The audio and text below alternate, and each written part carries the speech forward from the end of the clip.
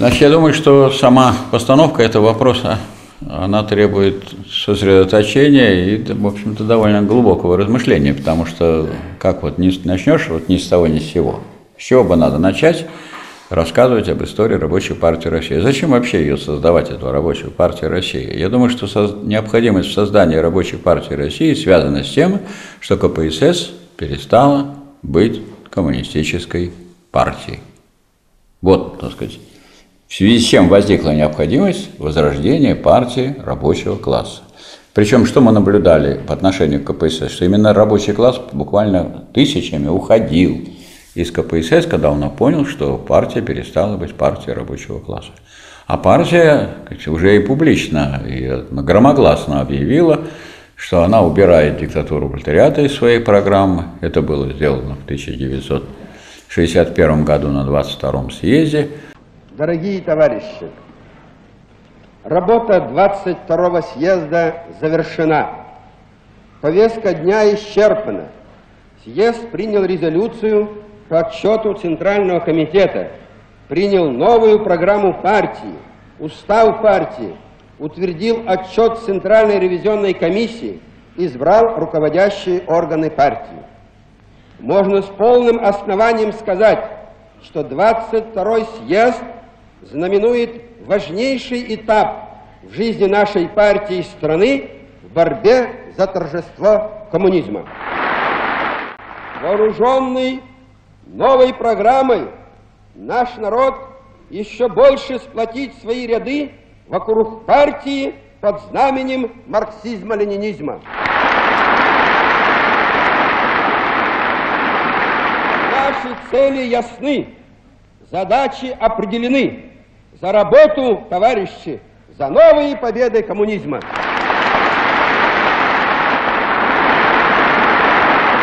И цель сменили на 22-м съезде. Какая цель была? Я напоминаю, что вот когда была дискуссия между Плехановым и Лениным на втором съезде, Плеханов предлагал для нужд общества производства.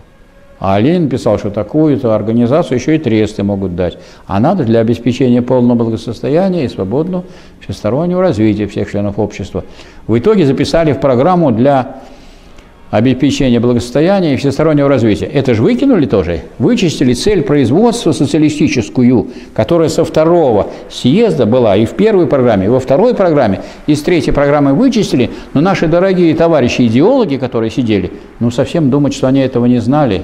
Я думаю, что там было много таких людей, которые знали и делали это уже сознательно, а лучше сказать умышленно. А другие люди, так сказать, они хлопали одновременно руками и ушами, то есть они надеялись, что там есть идеологи, они разберутся и так далее. Это нам всем урок.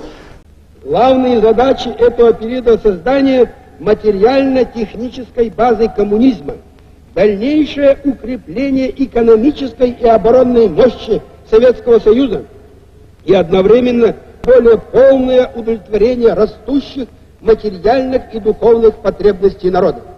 Коммунизм – это лучшая жизнь для человека. А лучшая жизнь – это материальные и духовные блага для человека. Хочу особо подчеркнуть. Главная задача 13-го пятилетнего плана в том, чтобы добиться переориентации нашей экономики, нацелить ее потенциал на служение советскому человеку, на удовлетворение его материальных нужд и духовных запросов. В этом и только в этом видит правительство сущность и смысл своей программы. Ну и если бы, скажем, никакого это противодействия, вот это действие не вызвало, то и не было бы никакой рабочей партии России. Ну а могло это все-таки в стране, которая завершила революцию, в которой был сознательный, образованный рабочий класс, и были ученые, которые не только отступили от марксизма, но были ученые, которые от марксизма же не отступали, оставались марксисты. А для ученого или там для науки это не важно, сколько человек. Скажем, Маркс один, Энгельс один, Ленин один. Там сколько человек этих ученых? Это же не такое принципиальное дело. Важно, чтобы они были. И вот когда вот эта острота такая почувствовалась того, что есть необходимость противопоставить широко распространенные позиции, которая в партии была распространена, и, в общем, вне партии, в науке общественной, когда нужно было противопоставить другую позицию. Тогда, когда началось совершенно явное, как сейчас говорят, движение на рынок после реформы 1965 года. Экономическая реформа 1965 года повернула экономику на рынок, она подготовила кадры, которые ориентировались только на, на мешок денег, только на объем реализации, прибыль, рентабельность, а не на удовлетворение потребностей трудящихся, не, не на развитие людей, не на освобождение их от тяжелого труда и не на сокращение рабочего времени.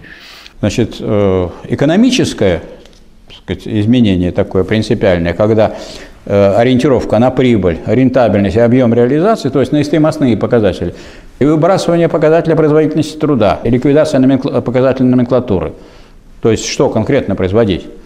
Или э, в дальнейшем такие шаги, как э, если вы не выполняете план по номенклатуре, то можно вам платить все равно премию. 10%, если вы не, до 10% не выполняете, идет цепная реакция невыполнения по всей экономике, разрушается плановое хозяйство – премию платить можно. И вообще не ограничивать выплачивание премии. То есть шло э, фронтальное разрушение. А такие, как Медведев, Вадим Халуй, Горбачевский, который был секретарем ЦК и третьим человеком, который разрушал у нас э, и партию, и страну, и Советский Союз, потому что был Горбачев, был Яковлев, и Медведев, секретарь по идеологии. Этот самый Медведев – создал книгу для системы партийной учебы, значит, рубль вместо головы у человека, дальше человек это показывает там себестоимость, рентабельность, то все. Но если будет у вас вместо головы рубль, то вы придете к капитализму. По пути перестройки, углубляя ее. Сентябрьский пленум открыл простор для умелого хозяйствования. Его постановления основывались на теоретических и экспериментальных данных. Также раньше планировалось сложное хозяйство. В план включалось множество показателей. Все было заранее предписано. Работать в таких жестких рамках директору было, мягко выражаясь, затруднительно. И вот было решено освободить хозяйственников от мелочной опеки. Оставить в плане один показатель. Прибыль. Мало того, в платежной ведомости появилась теперь новая графа – прибыль. Дорогие товарищи делегаты, Центральный комитет партии вносит на рассмотрение 23-го съезда проект директив по пятилетнему плану развития народного хозяйства на 1966-70 год. Этот проект представляет собой программу развития экономики Советского Союза на ближайшие пять лет – с которой наша партия выступает перед советским народом. В проекте отражено основное содержание политики нашей партии, выражающей коренные интересы советского народа, политики дальнейшего развертывания строительства коммунизма в Советском Союзе. Вот я помню нашу беседу с деканом экономического факультета, профессором Моисеенко, доктором экономических наук, который не просто был декан экономического факультета, а он был командиром полка «Катюш» и закончил в Кенигсберге войну. Пришли люди на экономический факультет и увидели там, сидят чуть ли не члены Временного правительства некоторые. И, так сказать, еще освобождали товарищи студенты экономического факультета от некоторых господ преподавателей. А вообще, если взять состояние экономической науки, то надо сказать, что когда мы почитали, что происходит уже где-то в 70-х годах, в 70-х, я подчеркиваю, мы увидели, что идет такое фронтальное наступление сторонников рыночного социализма. Вот я не буду это сейчас подробно раскрывать, но мы тогда, когда мы это увидели, мы решили с Николаем Андреевичем Моисеенко, невзирая на то, напечатают такое, не напечатают, Э, подготовили такую книгу «Демократический централизм. Основной принцип управления социалистической экономикой». И там раскритиковали в самой жесткой форме всех сказать, сторонников вот этого движения отказа от непосредственно общественного характера производства, провозглашения ориентации на рынок – и причем раскритиковали достаточно, так сказать, ярких таких деятелей, таких как Петраков, таких как Ракицкий, наиболее талантливый из противников социализма, который и в последнее время продолжает, так сказать, свое действие в виде так называемой учебы а, для, для рабочих. Они организовали со своей женой, с Ракитской. То есть мало того, что они, так сказать, участвовали в уничтожении социализма, а сейчас нам еще, и чтобы гнать еще и рабочих в этом же буржуазном направлении при буржуазном строе. То есть они еще и помогают их эксплуатацию поддерживать. Вот его книги я порекомендовал. Кто-то хочет узнать, кто такой настоящий противник враг социализма, читайте Ракитского, читайте Петракова, читайте Кранрода, читайте Либермана Харьковского, Либермана Московского. Николай Андреевич, которому это все принес, он прочитал, он удивился, сказал, ну нет, это мы так просто не оставим. И мы подготовили книгу в Ленэсдате. Правда, реакция редактора была очень интересная. 25 тысяч экземпляров, то есть достаточно широко, но реакция была интересная. Говорит, ну что, когда мы заканчивали, значит, Николай Андреевич вас выгонит на пенсию, Михаила Васильевича с работы, а я, как редактор, уйду в горы, я альпинистка. Ну, так прямо не получилось, но всякие такие вот шаги в этом направлении были сделаны. И оказались гораздо более мягкими, чем мы ожидали. Почему? А вот потому ну, самому соображению, которое я высказывал на кружке, о том, что, как говорил Энгельс, что какая-нибудь идея приходит тогда, когда для нее есть уже а, условия для ее воплощения, или они находятся в процессе становления. Стоило, когда мы книгу писали, мы ее писали не задумываясь о том, опубликуют, не опубликуют. Мы писали ее с размахом и с замахом. Как только мы ее написали, раз, или она взял, мы ее издали. Большим тиражом. Сейчас таких книг 25 тысяч экземпляров. Ну, не знаю, где найти. У нас второй такой был случай, когда мы, Долгов, Елемеев и я, подготовили книгу «Выбор нового курса», в период, в 91 году, в период полного, сказать, уже завершения строительства капитализма, завершения переходного периода от коммунизма к капитализму. И тоже мы писали, причем в успешном порядке, за полтора месяца, и ее сдали в издательстве мысли 50-тысячным тиражом. Поэтому сказать, что никак на это не откликались, или никто не обратил внимания, или все сидели и, и повторяли, никак нельзя. Вот. Хотя это, так сказать, какие-то трудности определенные представляло, непреодолимых не представляло.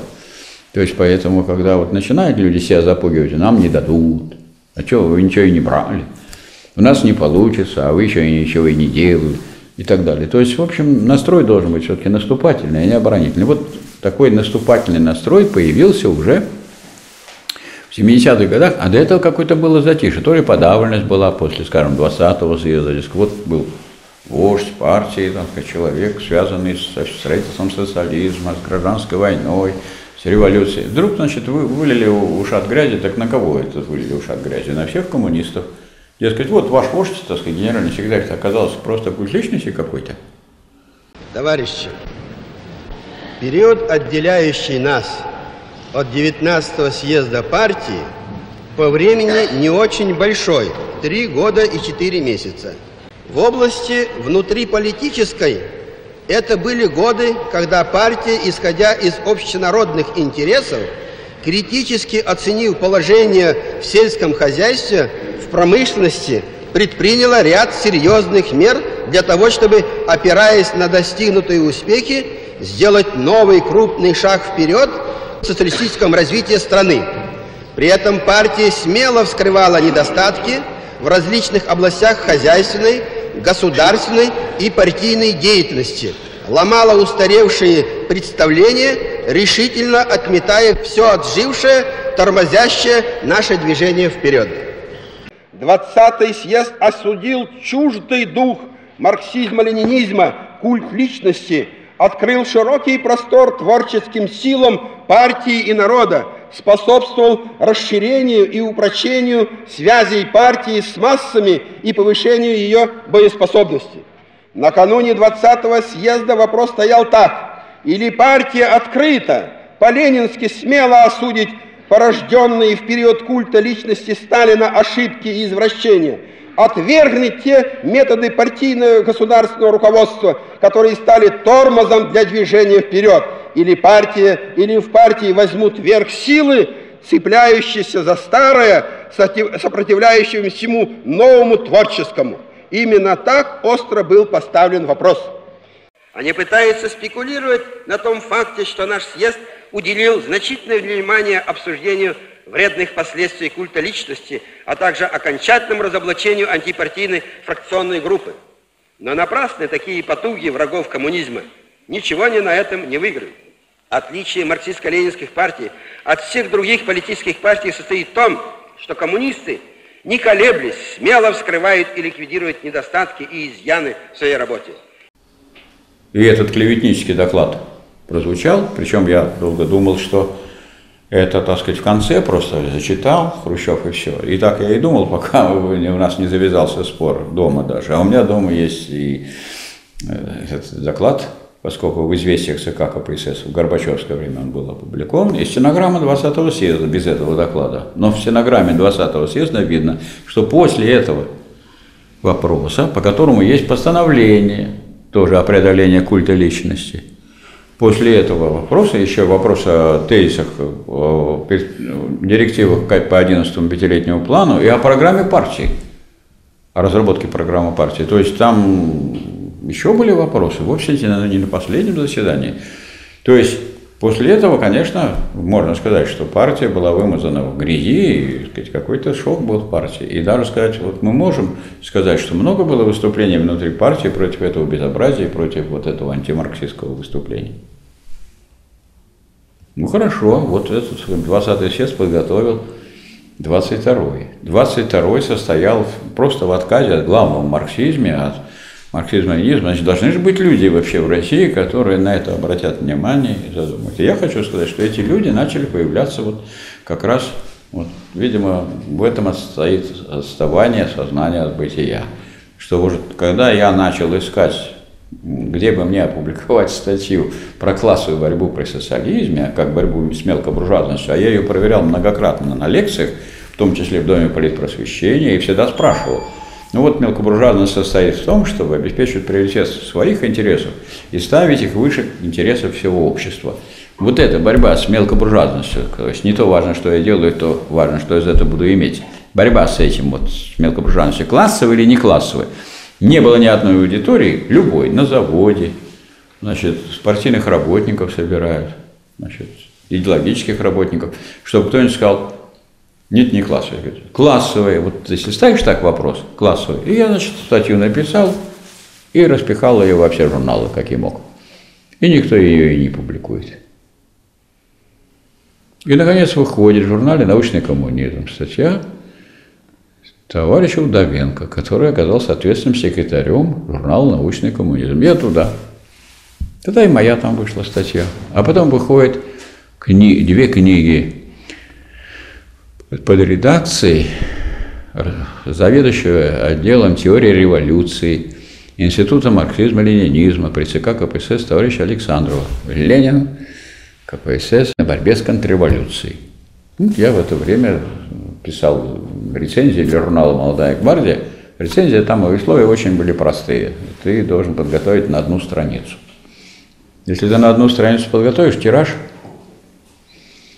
миллион двести тысяч. Миллион двести тысяч. Ну, это миллион двести тысяч таких страниц. А если ты напишешь полторы страницы, ну и сиди с этой своими полторы страницами. Дают вот такую книжку, говорят, вот давайте пишите одну страницу рецензии. Ну вот я вот этим занимался и получил премию тогда. Но и вопрос не о премии, а в том, что вот, вот попалась мне книга этого самого Александра, который под редакцией Александрова за отделом теории революции. Ленин о борьбе с контрреволюцией. И я прочитал эту книгу и увидел, что тут прямо тут указывает, что у нас происходит. Вышел второй сборник там, с э, тиснением ленинского, э, ленинского так сказать, образа на обложке. Значит, Маркс Энгельс Ленин о диктатуре пролетариата. Я тоже положительную рецензию написал. Тоже, значит, миллион двести тысяч. Ну, это значит, что тут не то, что кто-то из нас заметил, а другие, значит, никто ничего не делает. А потом я обнаружил, что есть книга Ваганова, замечательно вышла, который был руководителем архивного комитета при Совете Министров правый уклон ВКПБ его разгром. Ну, ясно, что она написана, написана с таких со сталинских позиций, и это министр был уже. Ну, я обычно вот рецензию напишу положительную, встречаюсь с человеком и даю ему рецензию. Казала, на Косолапова я написал рецензию «Социализм к вопросам теории», где он написал, что социализм не товарное хозяйство, и что деньги – это квитанции рабочие, как написано у Маркса Энгельса. То есть сказать так, что вот мы тут где-то тут выступали, а другие никто не выступали. Начались вот эти выступления. Когда? Вот где-то вот в этом районе. После, когда уж казалось, что победили противники социализма и антикоммунисты в партии взяли верх, в партии нашлись силы, которые начали сначала выступать теоретически. Хотя, например, меня до сих пор поражает, что был же товарищ Молотов, сидел на даче, мог бы и написать. Был Каганович, который там тоже сидел на даче, на хороший. И ничего с ними не сделали, могли бы и написать. А вот в отношении сказать, товарища Сталина хорошие выступления сделали военные после войны. Жуков, Рокоссовский и другие, да? Василевский. Вот кто по этот вопрос поставил. И началось, сказать, движение другое. Хотя, если взять вот, так сказать, некую теорию, которая фигурировала, так сказать, на таком, на партийной авосцене, наоборот, движение дальше пошло еще хуже, потому что при Брежневе, который где-то тормознул назад, ведь в событиях в Чехословакии, Дубчика назвали ревизионистом, войска туда вводили. Но на самом деле у нас полным ходом развивался ревизионизм внутри. По той же самой дороге. Только там это скатилось быстрее раньше, а у нас колесница большая, поэтому так быстро не происходило. Помните, была концепция развитого социализма? Как, как может социализм быть развитым? Если по смыслу социализм – это неразвитый коммунизм. Неразвитый коммунизм. Если коммунизм разовьется, что будет? Коммунизм полный, полный. А если он э, не, не полный, как же вы можете его считать развитым социализмом? Хрущев собирался там еще при коммунизме через 10 лет, потом через 20 лет – нынешнее поколение будет. Так прошлые поколения жили при коммунизме с 1935 года, прошлые. Нашим современникам предстоит притворить в жизнь мечту человечества, построить коммунистическое общество, самое справедливое общество на земле. Не только наши потомки, а мы с вами, товарищи, наше поколение советских людей будет жить при коммунизме. Сознание этого окрыляет каждого советского человека. Знамя Ленина осеняет нас на новом историческом этапе развития нашей Родины, этапе строительства коммунизма. КПСС все эти годы, руководствуясь определенной 20-ми, 22-ми съездами партии, программой, неуклонно вела советский народ по пути строительства коммунизма. Создано существует и совершенствуется развитое социалистическое общество. Зрелый социализм обеспечивает широчайшие возможности для полного раскрытия способностей каждого гражданина. Экономика должна быть экономной. Таково требование.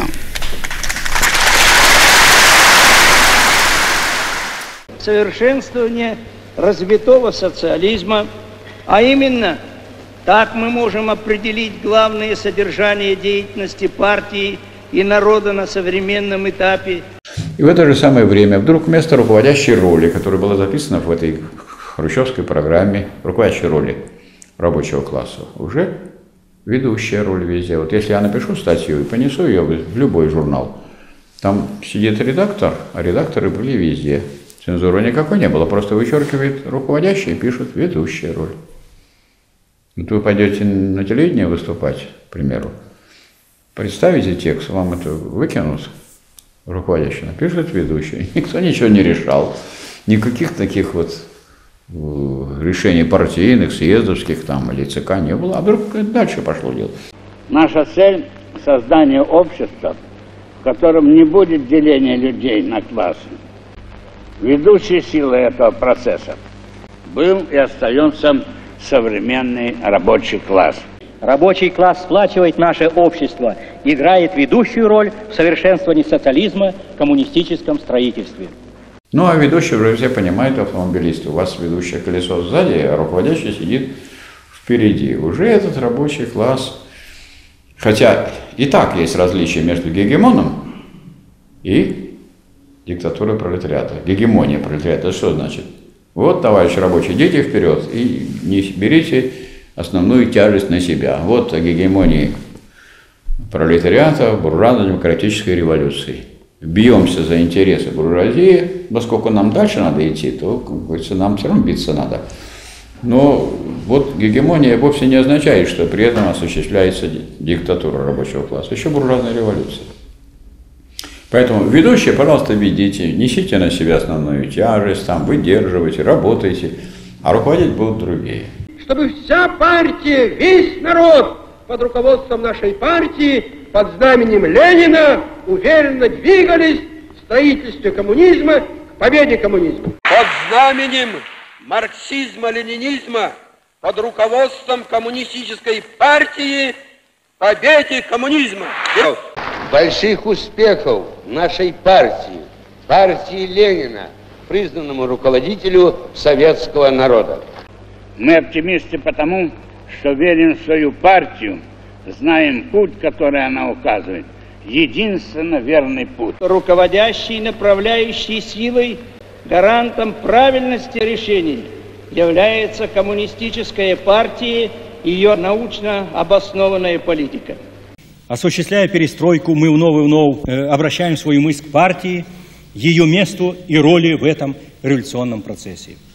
Знаменательно, что именно вопросы деятельности партии, ее руководящей роли находятся в последнее время в центре внимания нашего общества. Вот, собственно, что мы тогда наблюдали. И это так или иначе стало отражаться. Значит, товарищи, хорошо образованные марксисты, такие как Василий Яковлевич Ельмеев, забеспокоились и решили, что надо не просто критиковать, а надо начать позитивную работу. И у нас в Ленинграде по инициативе Василия Яковлевича Ельмеева, который наши товарищи знают, доктор экономических наук, доктор философских наук, заслуженный деятель науки, было образовано общество научного коммунизма. Вот в это время. И мы еженедельно в Доме политпросвещения.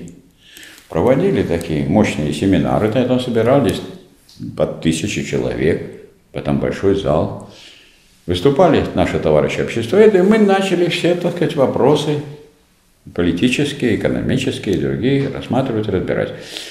В это же время, скажем, председателем э, нашего комитета по телевидению и радиовещанию был Ростислав Николаев, который, так сказать, тоже занимал совершенно правильную позицию, и он это решил это все освещать. Меня он сделал научным этим самым консультантом Ленинградского телевидения. И я мог, так сказать, это дело организовать, чтобы это все освещалось. Это стало освещаться.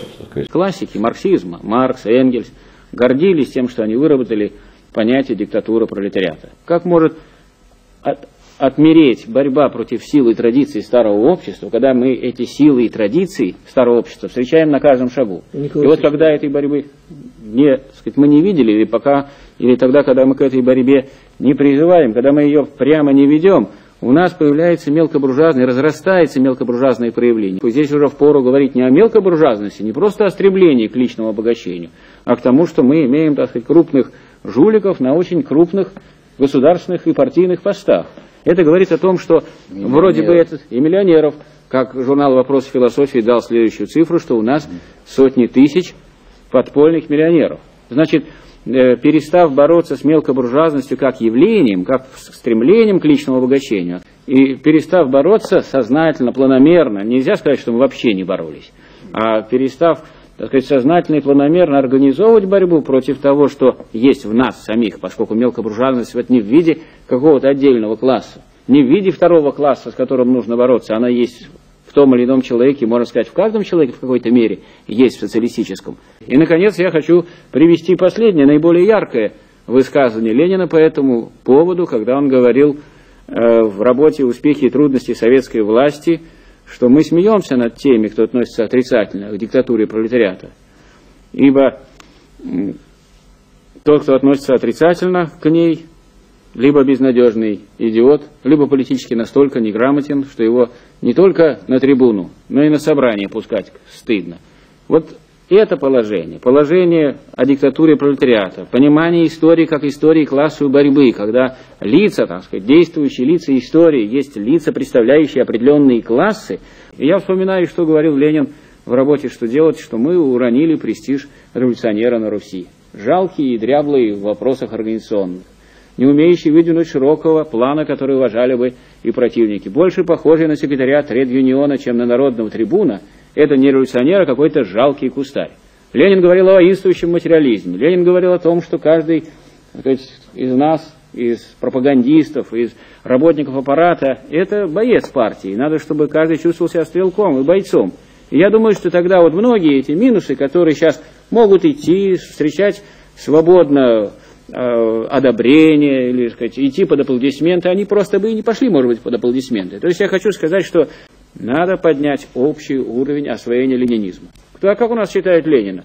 Сегодня он сдает зачет, он прочитал для зачета. Завтра он сдает экзамен, он прочитал для экзамена. Послезавтра он защищает дипломную работу, он прочитал для дипломной работы. Потом ему нужно для кандидатской, для докторской ему вообще уже не нужно – и получается, что человек все время читает для чего-то, а сталкивается с той ситуацией, которую он как раз не прочитал. И поэтому он всегда разоружен. Мы должны поставить вопрос об ответственности каждого советского гражданина и каждого советского коммуниста за освоение ленинизма. И у нас пошла какая-то массовая подготовка совсем другого так сказать, восприятия и понимания того, что происходит. В том числе мы обсудили статью Андреевой Нины и поддержали ее на обсуждении в Выборгском районе. И эта передача прошла. Название тоже было взято мною из э, выступления Михаила Сергеевича Горбачева на февральском идеологическом пленуме 1988 года, где нас, генеральный секретарь, призывал как раз не поступаться принципами. И эта передача пошла и за границей. Все увидели, что появились силы, которые выступают против Горбачевского курса. И появились они в Ленинграде. По всей стране прошли партсобрания. На них был провозглашен возврат к старым коммунистическим ценностям. Это собрание прошло в Ленинграде. А мы должны ему помочь, не подавляя его. В тот момент, когда снова зазвучал голос сталинистов, либералы, получившие больше всех от Горбачевской оттепели, были готовы к худшему. На, этом, на этой волне началось и развитие рабочего движения я себе должен назвать две фамилии, поскольку вот эти фамилии, они, можно сказать, есть самые главные фамилии для понимания того, как возникла рабочая партия России. Докер Тимофеев и Докер, председатель портового комитета, Докер Федотов Константин Васильевич, они в это время обратились за тем, чтобы у нас в порту читались лекции по этим всем вот вопросам, проблемам. И у нас такое завязалось такое очень тесное с ними взаимодействие. Они, собственно говоря, и являются некоторыми, в некотором роде основателями партии. Был создан Совет рабочих Ленинграда, а ему предшествовало создание такого городского совета политклубов рабочих. Городской совет политклубов рабочих предполагал выступление некоторых секретарей и председателей исполкомов – тех, которые поняли, что происходит. В частности, Смольнинский, э, первый секретарь Смоленского райкома партии, и особенно Петроградского райкома партии Раков Юрий Евгеньевич, который ну, проявил такие качества наступательные и э, качества организатора очень большого и хорошего, который Кукич однозначно сказал, что давайте, так сказать, выступайте, расскажите, что происходит. У нас мы соберем тут рабочие дружины в нашем Петроградском районе. И я вот тут первый секретарь, у нас Аврора есть, мы так просто это не отдадим. Это давайте. Это все вот год уже 80-е годы. Это уже, так сказать, вот когда на фоне этой всей вот Горбачевщины. Съезду предстоит обсудить и принять новую редакцию программы КПСС – изменения в уставе партии, основные направления развития народного хозяйства на пятилетку и перспективу. Отказа от сложившихся стереотипов мышления и практики. Принципиальным для нас является вопрос о расширении гласности. Это вопрос политический. Перестройка продолжает дело революции, И сегодня крайне необходимо умение в совершенстве владеть оружием революционной выдержки. Новое политическое мышление – это не просто декларация. Вина Сталина и его ближайшего окружения перед партией и народом за допущенные массовые репрессии и беззакония огромна и непростительна. И это урок для всех поколений. На 20 и 22 съездах партии сурово осудила и сам культ Сталина и его последствия. Особенность этого этапа в углублении перестроечных процессов. Вот на это мы и должны настраиваться, товарищи, твердо, твердо следуя ленинским урокам, традициям октября. Всем партийным работникам надо осваивать новое экономическое мышление. Старый механизм, старые административные рычаги еще только демонтируются, а новые экономические стимулы только набирают силу. Вся эта работа должна проводиться в увязке со свободным выбором различных форм кооперативной деятельности, широким распространением хозрасчетного подряда. Мы твердо и неуклонно будем следовать революционным принципам перестройки. Больше гласности, больше демократизма, больше социализма. В этом, товарищи, огромная сила того курса, который партия и народ будут вести с еще большей энергией. Как углубить и сделать необратимую революционную перестройку, которая по инициативе и под руководством партии развернулась в нашей стране, вот коренной вопрос, стоящий перед нами делегатами 19-й Всесоюзной партийной конференции. Товарищи, процесс революционного обновления все глубже проникает в решающую сферу жизни и экономику. Мы развернули процесс, тянулись в радикальную экономическую. И вот на очереди реформа политической системы. Под, к ней мы подошли тоже в результате развития самой э, нашей перестройки. Эта логика перестройки подвела нас к тому, что сейчас мы должны заняться реформированием политической системы. Почему? И она нам просто жизненно необходима. Почему же сегодня выдвигается задача коренной реформы политической системы? Сегодня надо иметь мужество признать, если политическая система останется неподвижной, без изменений, то мы не справимся с задачами перестройки. Система не та и в управлении экономикой, и в управлении обществом в целом. Нужна вот то, о чем мы сегодня говорим, и то, что мы делаем три года подряд. Идти этой дорогой, я убежден, мы на правильном пути. Партия должна возродить себя на ленинских принципах как политический авангард, развернуть свой потенциал. И это ждет общество. Это ждет весь социализм, я вам скажу, весь прогрессивный мир.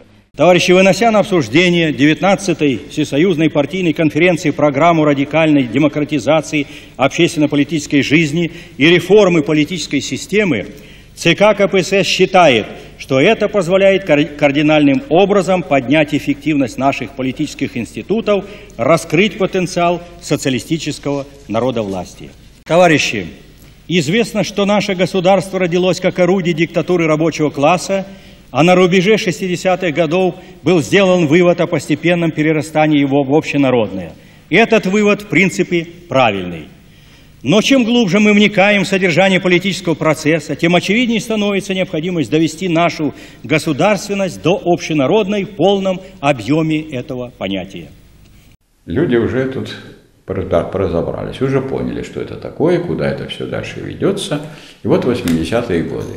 И это еще были такие слабые формы, но уже, значит, первая структура, которая предшествовала. Мы сейчас вот сегодня изучали на кружке предпосылки, условия. Вот такой предпосылкой явилось создание, во-первых, общества научного коммунизма. Это, так сказать, научный социализм и объединение рабочих, городской совет политклубов рабочих.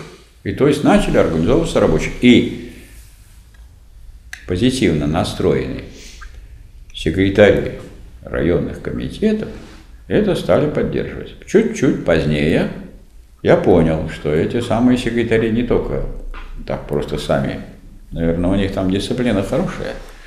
Потом я понял, что в этом деле участвует орготдел Ленинградского компартии и помощник или советник, товарищ Яковлев такой был, помощник Гедаспова. А Гедаспов, ну, мы так думали, что он сам по себе. Нет, он, оказывается, весьма активно в этом всем, всем участвовал. И поэтому, думаю, не случайно нам запросто давали необходимые пропуска в Смольные и обеспечивали печатание наших материалов, то есть совершенно однозначно. А товарищам секретарям, которые хотели заниматься, давали зеленую улицу еще и поддерживали.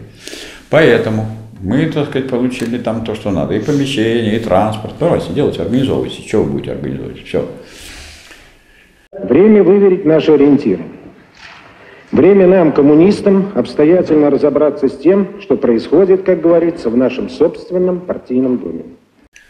Итак, это дело дошло до 1989 года, а в 1989 году начался этот процесс съезда народных депутатов, то есть разрешение, разрушение той структуры, в которой все-таки Хотя советы уже были не вполне советы, да, или даже не советы, не от трудовых коллективов, но выдвигать могли только трудовые коллективы, то есть обойти трудовые коллективы при выдвижении кандидатов было нельзя. И вот Горбачев это решил сломать, чтобы, так сказать, выдвигать могут кто угодно.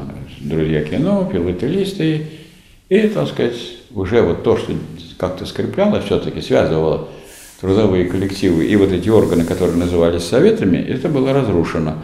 И теперь, раньше можно было, ну да, голосовать вы будете по территории, но сначала пусть вас выдвинут на предприятии, на том или ином, и от трудового коллектива.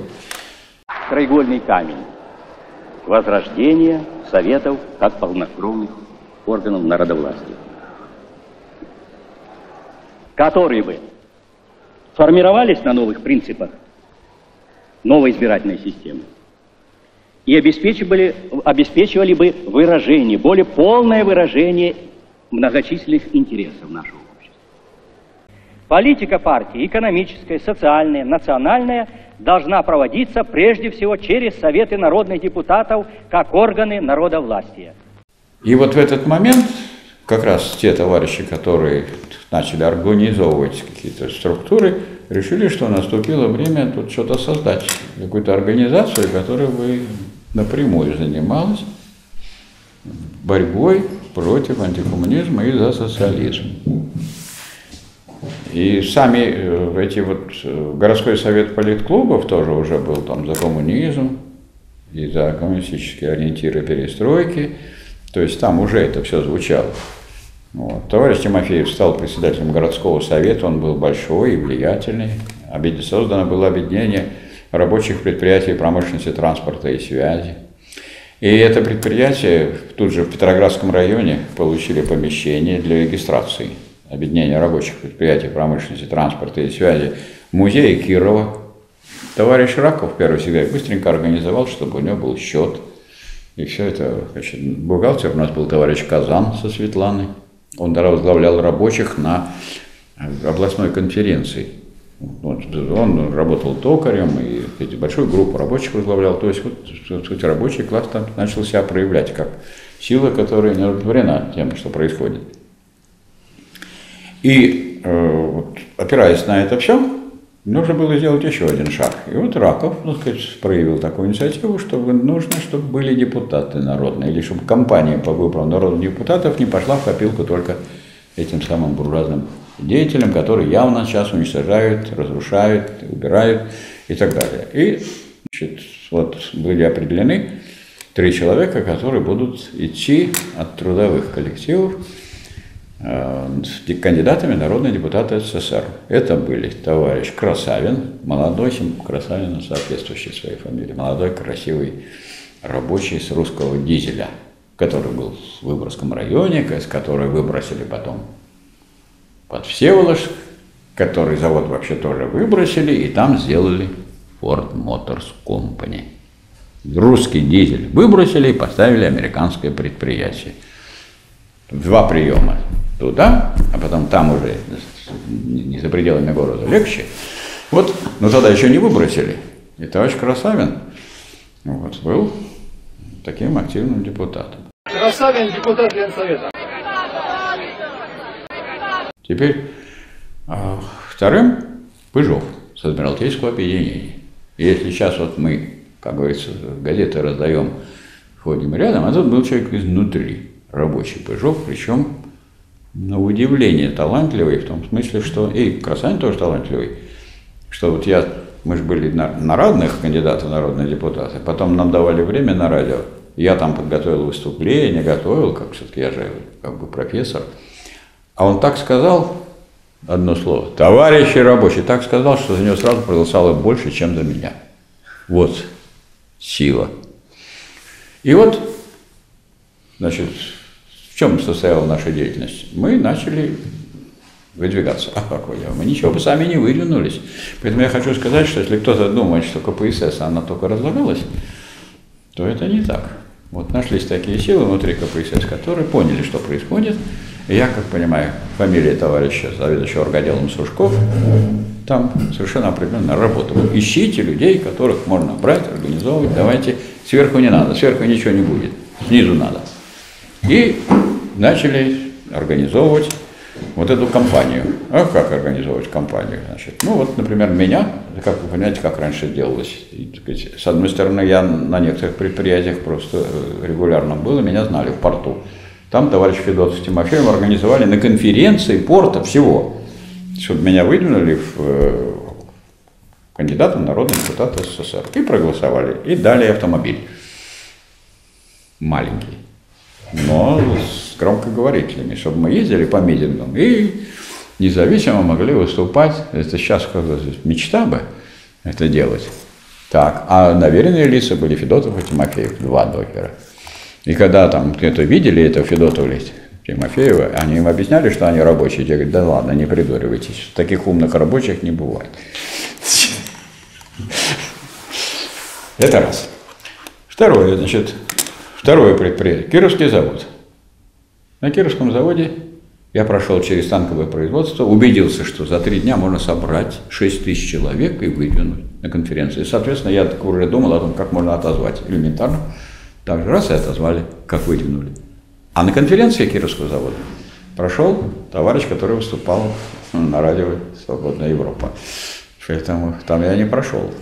То есть все-таки уже и Кировский завод был уже во многом заражен. Но танковое производство, оно, так сказать, свое слово сказало.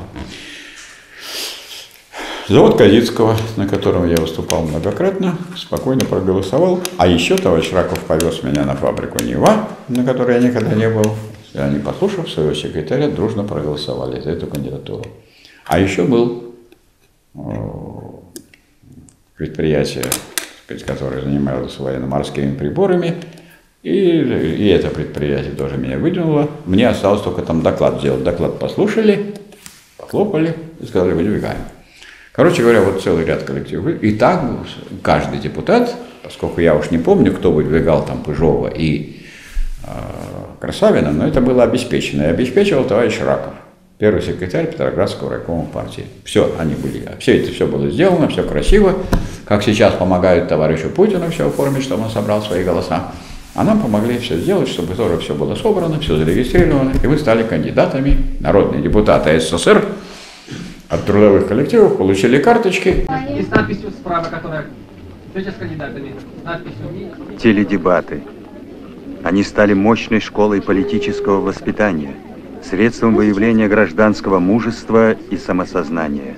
С кандидатами народные депутаты СССР. Включаем студию.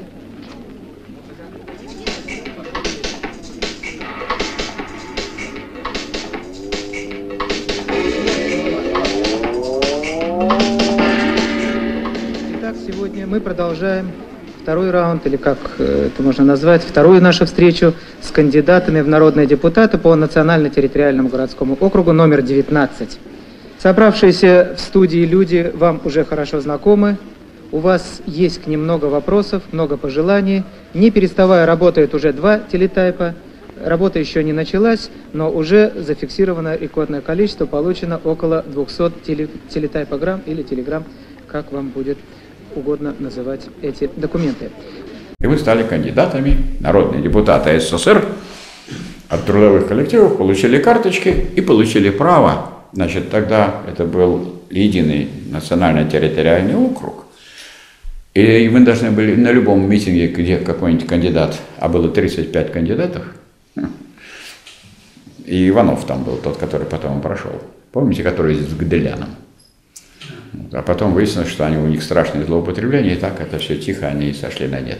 Но тогда был большой шум, подъем и так далее, выборы в народные депутаты СССР, тем более, что вообще думали, вот сейчас спасут нас народные депутаты СССР, которые уже выдвигаются от филателистов, от друзей кино и так далее, а не только от трудовых коллективов.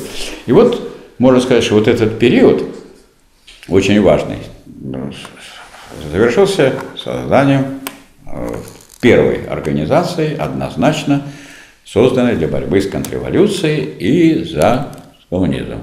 А как это было сделано? Вот собирается у Кировского завода мадам Салье огромный митинг. Она тоже кандидат народный депутат СССР. А мы приходим туда втроем. Пыжов, Красавин и я. С Пыжовым мы и Красавиным договариваемся, что мы на этом митинге, который они собрали много, многотысячную такую аудиторию, мы объявим о создании Объединенного фронта трудящихся России, э, Ленинграда и Ленинградской области. А в это время уже мы знали, что готовится создание народных фронтов. Уже в Прибалтике созданы, они все контрреволюционные народные фронты, они однозначно выступают за переход к буржуазному строю, и наши готовят. Кто? Голдерф и компания готовили это все. И мы это хорошо знали, поэтому я это забыть никак не могу. Когда мне начинают рассказывать, какой хороший НПСРовский Болдырев, то я эту физиономию, так сказать, вспоминаю сразу, потому что вот мы так сидели, как вот с вами, значит, только вот там был Болдырев, а здесь я, и мы, так сказать, на ленинградском телевидении дискутировали. Мы просто решили, что нам надо создать организацию нашу на неделю хотя бы раньше, чем народные фронты. И мы создали. Избирательная кампания осталась в прошлом, но атмосфера политической активности выплеснула в жизнь новые общественные формирования – в Ленинграде создан Объединенный фронт трудящихся.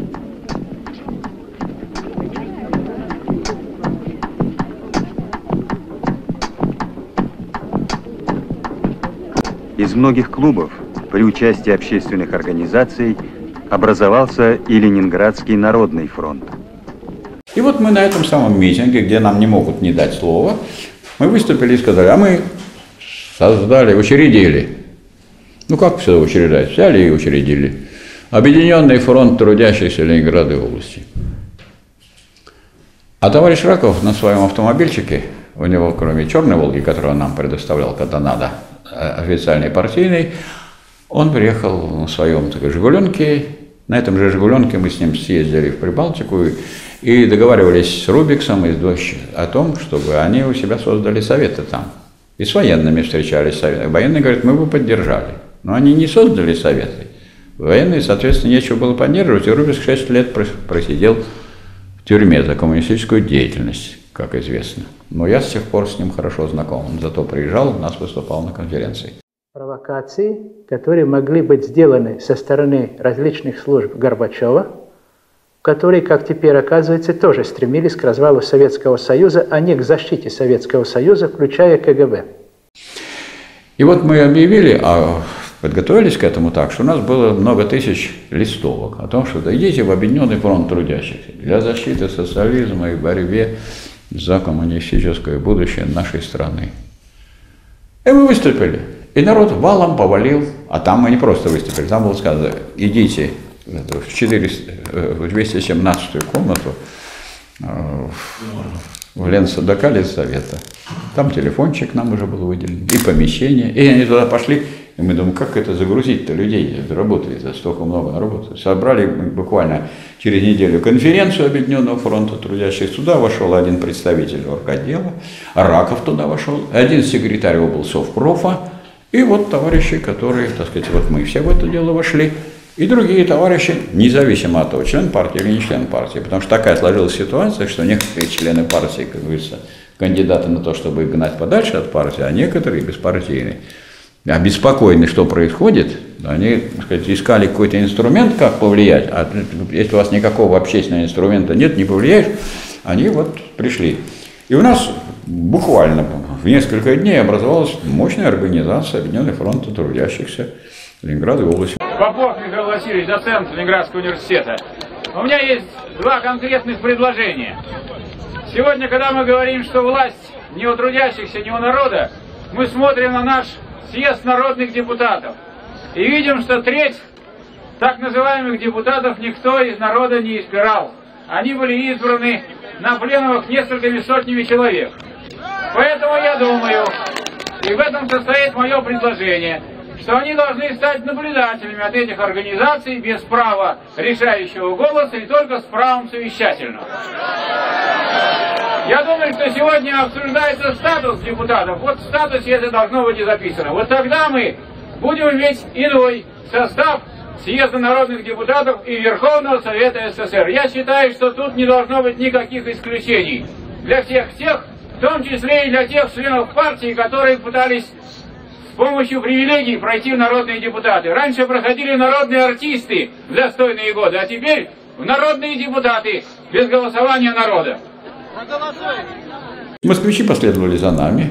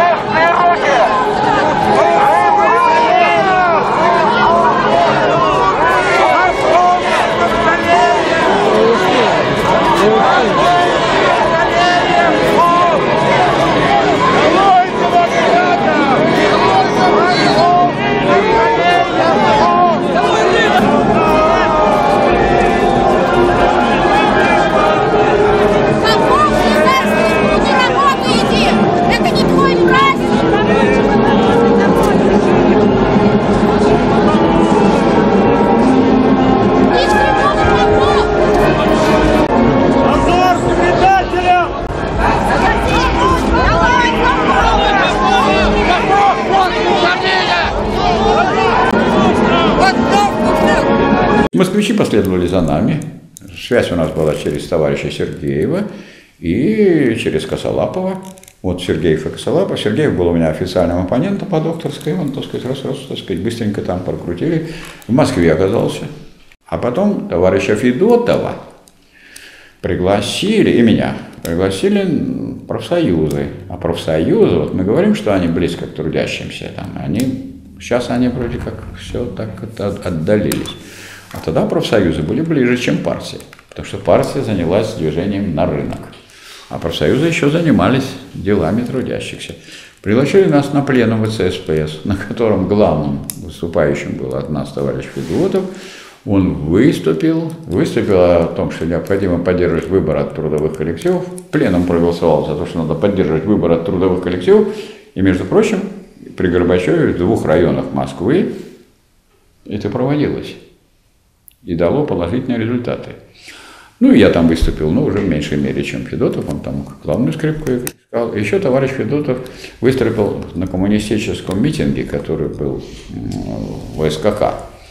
Мы его подготовили хорошо, он тут готовился, там до этого ходил Горбачев и говорил, это вот время теперь я могу зафиксировать, 89 год, вот это время Горбачевское, когда это он перестройка, надо углублять перестройку, углублять перестройку. В противоречиях и жестких столкновениях рождается новый советский парламент. Думаю, мы все согласны, что работа съезда идет на волне демократического обновления жизни, глубоких революционных процессов в обществе. Вытянуть экономику из трясины невозможно без радикальной экономической реформы, перевода всех хозяйственных звеньев на полный хозрасчет и самофинансирование, без широкого развития аренды и кооперации. Через радикальную экономическую реформу мы должны прийти к новой модели нашей экономики – становление полнокровного социалистического рынка. Разумеется, рынок не всесилен, но другого, более эффективного демократического механизма хозяйствования человечество не выработало. Без него, без э, него социалистической плановой экономики не обойтись, товарищи. Это надо признать. Главными действующими лицами в экономике должны стать предприятия, концерны, акционерные общества, кооперативы. Прежде всего, это реализация вновь выдвинутого нами исторического лозунга «Власть, сове... власть советом». Реконструкция представительных органов, всемирное расширение их прав и полномочий согласно Конституции, безусловное подчинение им аппарата – это первое условие возвращения Советам реальных рычагов власти и управления. Выступив инициатором и главной движущей силой перестройки, Коммунистическая партия является сегодня гарантом этого революционного процесса. Коренное изменение внешнеполитического курса связано с новым политическим мышлением как правильно сказал здесь один из товарищей, мнения могут быть разным, но политика у нас должна быть одна. Политика революционной перестройки. Именно в такой атмосфере демократизации гласности реализуется наш принцип плюрализм мнений.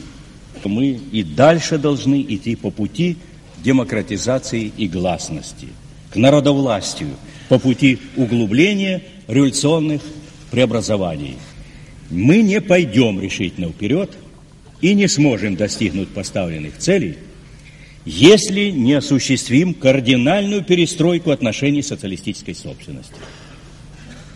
Через отношения социалистической аренды в самом широком смысле этого слова. Надо наполнить реальным содержанием Советскую Федерацию, обеспечить суверенитет союзных республик, широкую самостоятельность автономии – Власть Советов недостижима без возвращения крестьянам земли. Пошли на преобразование отношений собственности, чтобы включить интересы человека, сделать его хозяином средств производства и результатов своего труда. Мы покончили с унитаристским подходом к развитию многонационального государства. Будем стимулировать приток иностранного капитала прежде всего в те отрасли, где получим сравнительно быструю отдачу Цены, доходы и социальная политика. В условиях рыночной экономики цены в конечном счете будут определяться на основе спроса и предложений. Поэтому, вообще говоря, это настоящая революция. Настоящая революция. Вот это время Горбачевское, когда это он перестройка, надо углублять перестройку, углублять перестройку. А Федотов должен был выступить и сказать, на этом многотысячном митинге там десятки тысяч были – может даже и больше. Что перестройка не яма, чтобы ее углублять. И он, значит, выступает и там сказать, грохочет, так сказать, через все микрофоны. Перестройка не яма, чтобы ее углублять. И все. И это сразу из лексикона выпало, больше никто так не говорил. И все прозвучало. Одно из заметных политических событий прошлой недели – многотысячный митинг в Ленинграде. Я поддерживаю призыв к созыву чрезвычайного съезда. Потом Федотов был комендантом Смольного во время событий. И эти не знали, что делать. Он говорит, вот комендант Смольного. Ну, пока там не появились, у нас был комендант. Мы не знали, как будут развиваться события, но комендант был. Приехал товарищ из орготдела ЦК и стал спрашивать меня и Федотова, особенно Федотова. Кто у вас занимается кадрами? Я говорю, вот Федотов. А где у вас этот список? Федотов говорит, у меня кадры вот здесь. И намекнул ему, что никаких бумаг не получите от нас. И не надейтесь. Мы уже с ними разговаривали, как разговаривают, так сказать, с теми, кто является преступником или помощник преступников. И поэтому нам это, на каком бы там этаже сидите, ЦК вы, еще где, ну, вы только предатели более высокого уровня. Поэтому, значит, вот такая картина создалась, создался Объединенный фронт трудящихся. В этом же, на этом пленуме мы договорились э, с председателем Свердловского облсовпрофа, что мы там проведем в Свердловский съезд по созданию Объединенного фронта трудящихся России. Нам сказано, с председателем разговариваем, говорит, так, гостиницу обеспечиваю, зал обеспечиваю. Вот на одной стороне было одной и той же площади, там, от межрегиональная депутатская группа, там, Свердловская, а на другой мы. И мы приехали в Свердловск, учредили Объединенный фронт трудящихся России, зарегистрировали, и когда тут наступили выборы первого президента России, выдвинули Макашова, который при Горбачеве, говорил, что Горбачев изменник, а Макашов был не какой-нибудь отставной генерал, он был начальник Приволжского Уральского военного округа. И я хочу сказать, что нашлись люди, которые, ну понятно, что он рисковал там всем, всем чем угодно, но вот выступил. Советизация советов. Для этого необходимо, чтобы выбирали народных депутатов по трудовым коллективам. Ведь сейчас у нас в советах, даже в нашем, на нашем съезде, э, рабочих меньше, чем э, в Царской Думе. Ну, дожили. Как вы оцениваете начало работы съезда и итоги его первого дня? Если я э, кандидат президенты не могу получить э, слово, от э, председательствующего тоже кандидата в президенты, о чем еще говорить? То есть вы считаете, что Ельцин использует свое нынешнее положение как возможность создать себе Подтверждаю. льготные условия? Да? Подтверждаю. Э, Прислали записки с просьбой дать им слово. Э, претен- Вернее, кандидат в президенты э, Макашов. Дважды председательствующий спрашивал у меня, э, о чем я хочу сказать на этом съезде. Прошу 6 минут, и я выскажу то, что я думаю о состоянии сегодняшних дел и о нашем президентстве. Я тот самый генерал, чье пятиминутное выступление на партийном съезде сделало столько шуму в стране, за рубежом и в этом зале. У меня такое ощущение, и я уверен, что большинство не слышало и не читало это выступление. Рекламу сделала часть нашей прессы, болеющей гепатитом, которая по команде космополитов бросилась на генеральские лампасы. А ведь основное содержание выступления и мыслей генерала был и остается патриотизм. Тот патриотизм, о котором мы забыли и желаем, чтобы забыл наш народ. Не красота спасет Россию, а единение патриотических сил, как это бывало в трудную минуту для нашего многострадального государства. И вот я пришел на эту трибуну по воле тех, кто за два дня дали 144 тысячи подписей без всякой поддержки партии, телевидения и прессы. Чего же я хочу сделать для своего народа? Мы за единую и неделимую Российскую Федерацию в границах 45 года, стабилизацию обстановки и межнационального согласия, за восстановление законности и порядка, соблюдение Конституции и существующих законов, стимулировать научно-технический прогресс, снижение затрат и цен, закрыть спекулятивные и поощрять товаропроизводящие кооперативы и фирмы, возродить государственную монополию на внешнюю торговлю, не допускать распродажи России иностранному капиталу, возродить советскую власть путем избрания депутатов в трудовых коллективах, обеспечить в первую очередь бюджет местных советов за счет отчисления от прибыли всех предприятий на территории Совета. Мы против капитализации нашего общества, безработицы и безбожного повышения цен. Я призываю кандидатов в президенты выступить вместе со мной за требование народа об отмене повышения цен на товары первой необходимости. Трясти надо не народ, а теневую экономику. Трясти надо спекулянтов. Я предлагаю довести решение и расследование о продаже танков и 140 миллионов рублей за границу. Я вызываю Ельцина Бориса Николаевича на честный прямой эфир по телевидению без команды и без помощников.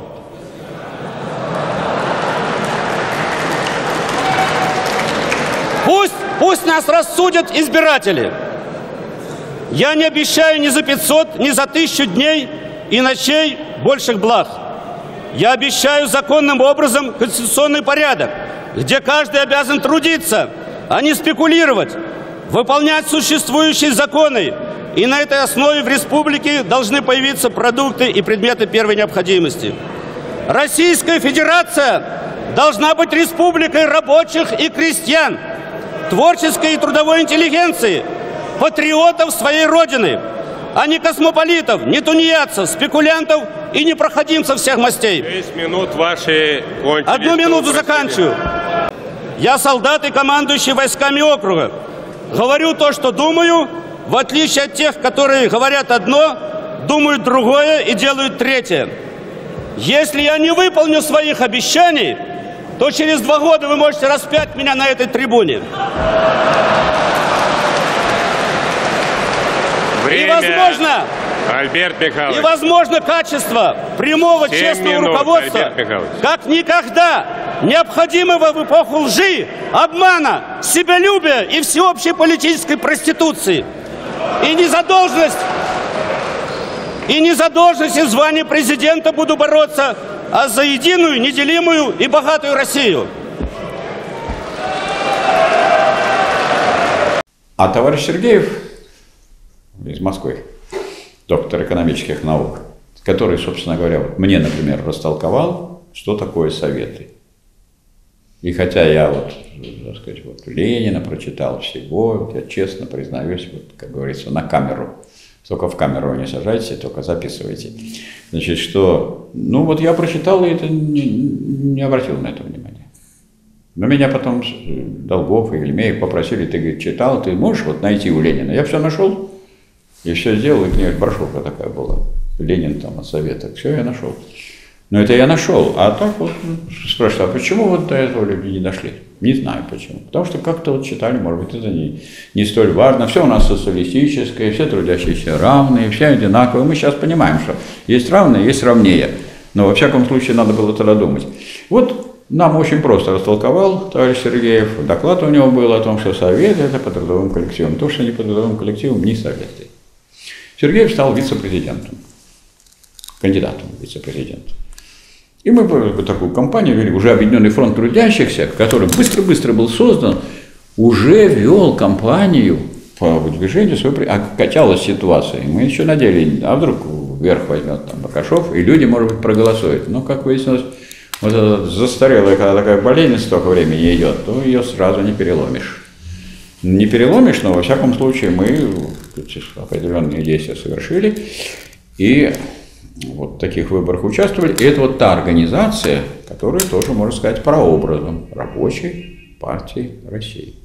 Потом мы сделали еще один шаг. Собрали членов партии из Объединенного фронта трудящихся, членов КПСС.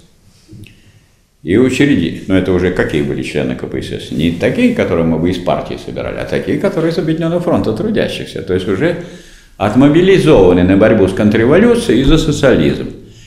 И объявили о чем? О создании инициативного движения коммунистов России. Я думаю, что у нас не изменятся дела в России, если не будет, как во всех других республиках, республиканской партийной организации, как органической составной части КПСС. Нам сегодня дали надзиратели над Россией в лице бюро российского ЦК КПСС. И Михаил Сергеевич занял очередной пост. Я думаю, что и два поста много, и я думаю, что Россия и российские коммунисты в состоянии сами избрать на своем съезде свой центральный комитет. Я думаю, товарищи, что мы не должны тут просто требовать. Я думаю, что вопрос о партии России, вопрос о республиканской партийной организации нашей, это наш вопрос. Мы должны создавать, и коммунисты, и беспартийные, должны создавать подготовительные инициативные группы во всех партийных организациях и на всех предприятиях, обсуждать вопрос и о повестке дня съезда, и о тех решениях, которые должны быть приняты, и начать выдвигать кандидатов. В этом состоит мое второе предложение. Спасибо за внимание. Вы против инициативы? Можно инициативу запретить? Невозможно ее запретить. То есть такую выбрали форму, которая, так сказать, защитима от всяких, так сказать, нападок. И начали проводить съезды. В таком органе печати, как «Известия», прямо говорим о том, что каждый советский гражданин должен решить, кем он хочет быть, что ему больше нравится. Либо быть частным собственником, либо быть безработным. Либо, так сказать, миллионером, либо безработным. В самое последнее время вот это двоедумие, это политическое лицемерие поднялось на новый этап. Появилось и приобрело огромный вес во всех сферах жизни нашей страны политическое течение, которое нарекло себя демократическим и левым. Причем нарекло себя не только с молчаливого согласия, но и с официального подтверждения этого его левого и демократического качества высшим партийным руководством, самым высшим партийным руководством. Ведь в глазах советского народа левые всегда были лучше правых. И это они-то левые, левые, те, кто сегодня открыто призывают идти к слою экономического неравенства, те, кого высшее партийное руководство называет левыми и демократами, на самом деле являются ультраправыми буржуазными радикалами.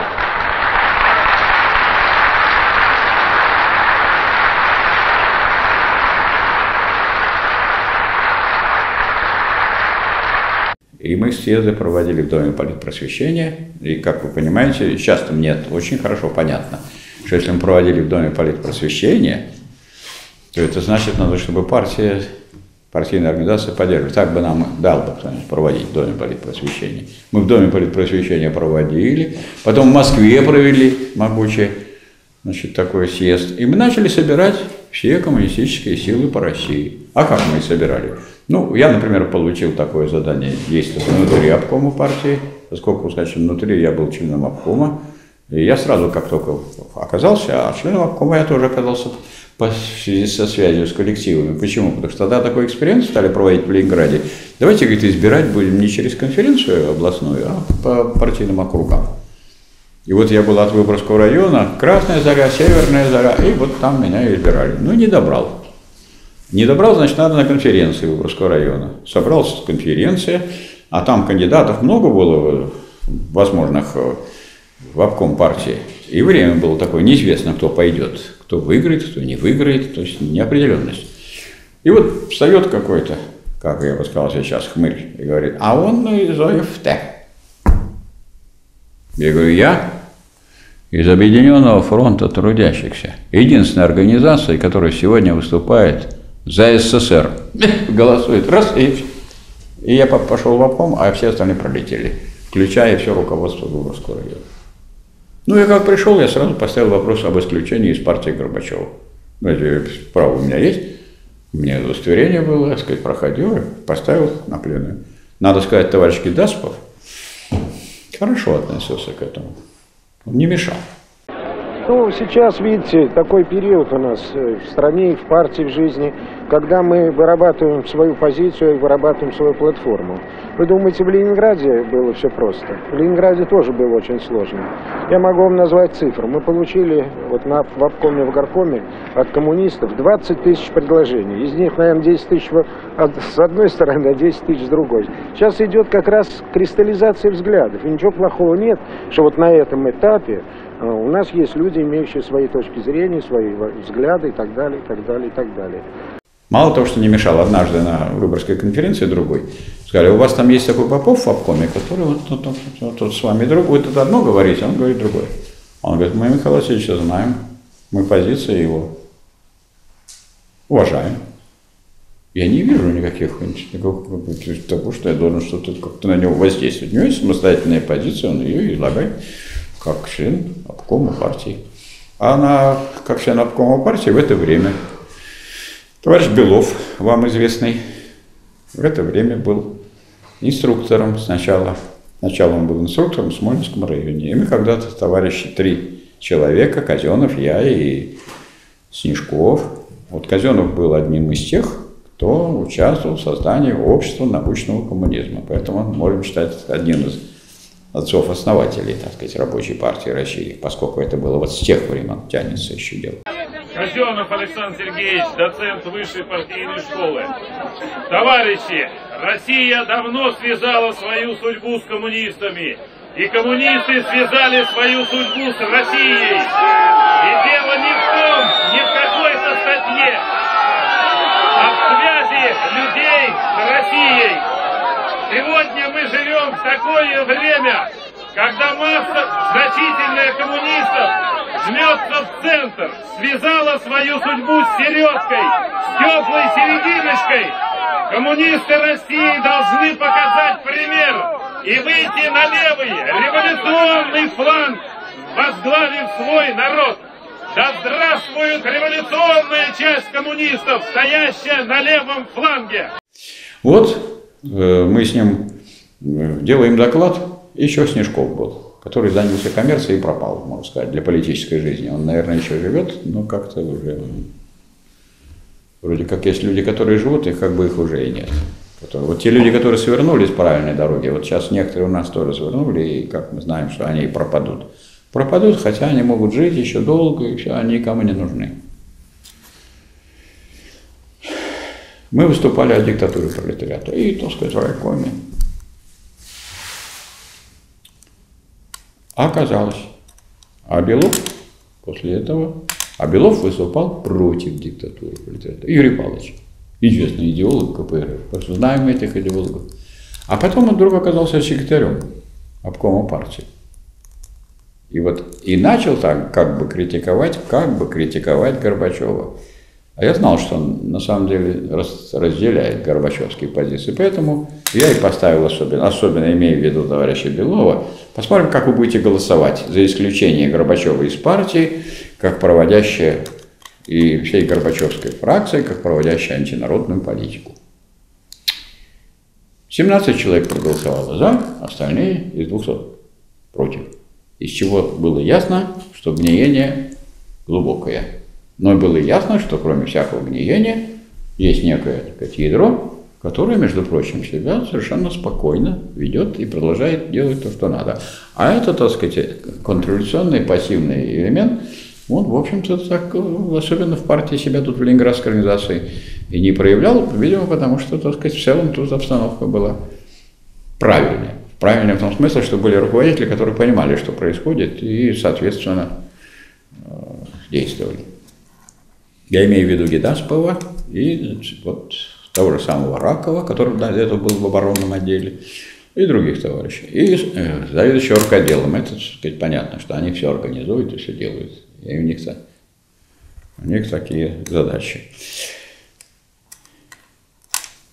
Итак, мы собрали, стали собирать коммунистические силы, которые выступали против Горбачева и за восстановление социалистических коммунистических ценностей и за восстановление КПСС как коммунистической партии.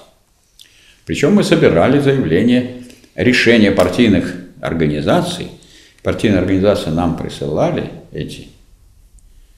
И много-много собрали мы вместе с Половодовым, который тогда был через горбюро, э, движение коммунистической инициативы. Николай Половодов, рабочий от трансприбора.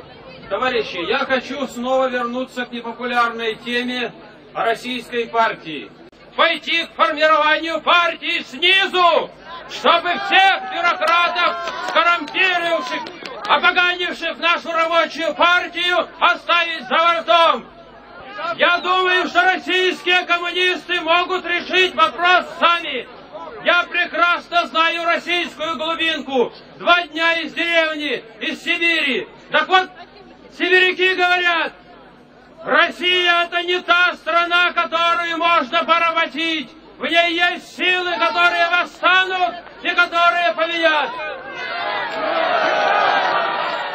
Решение партийных организаций партийные организации нам присылали эти, и много-много собрали. И когда были события, переворот, мы на всякий случай эти решения сожгли, чтобы не преследовали наших товарищей. На берегу Невы, где там сейчас дорога проходит, в Костре.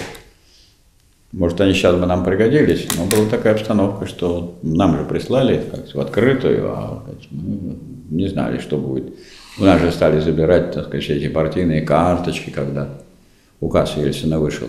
Потом попыт, попытки были... Учетные карточки. Да, учетные карточки.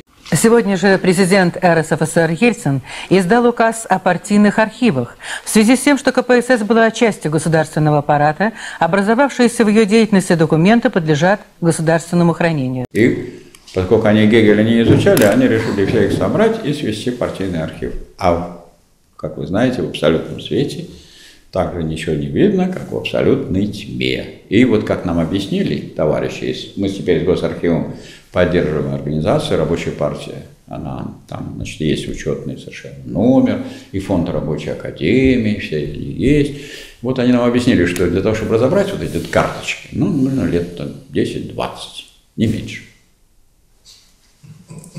Не меньше.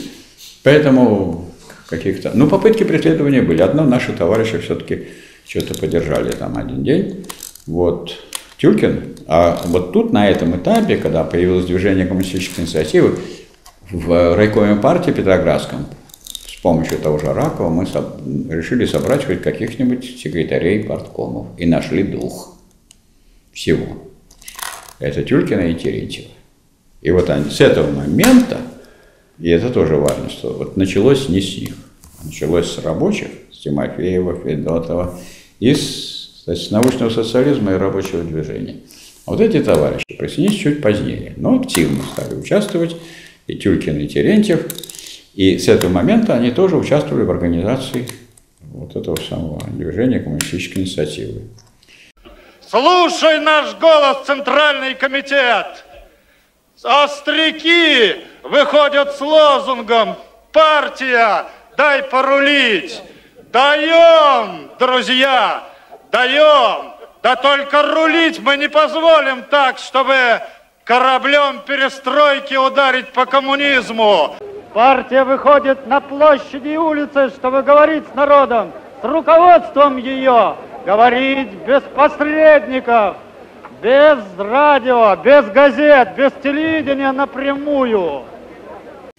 И э, до какой степени это дошло? До такой степени, что Горбач... мы потом поняли, что нам КПСС не развернуть при ее количественном так сказать, составе 18,6 миллиона человек. И несмотря на то, что быстро наше так сказать, движение стало всесоюзным, но тем не менее мы поняли, что надо тут нам попытаться сделать коммунистической хотя бы вот ту часть, которая является российской. Это вот будем считать та попытка, еще одна, прежде чем создавать отдельную партию, попытаться выделить тут ядро и на него опереться.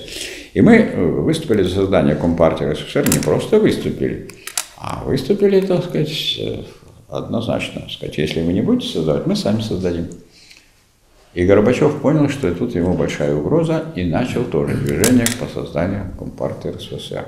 Но поскольку мы были подготовлены уже и в теоретическом плане, и у нас уже документы выходили, Долгов, вам известно, Виктор Георгиевич был редактором этих всех э, редакцион, председателем редакционных комиссий, которые были на съездах инициативного движения коммунистов, и мы всегда издавали материалы там «Судьба России, задачи РКП», уже мы РКП уже говорили, Российская коммунистическая партия, уже, так сказать, мы этот процесс движения коммунистической партии вообще развивали, и те решили, так сказать, инициативу перехватить, и стали собирать, готовить съезд. А мы э, решили не дать перехватить.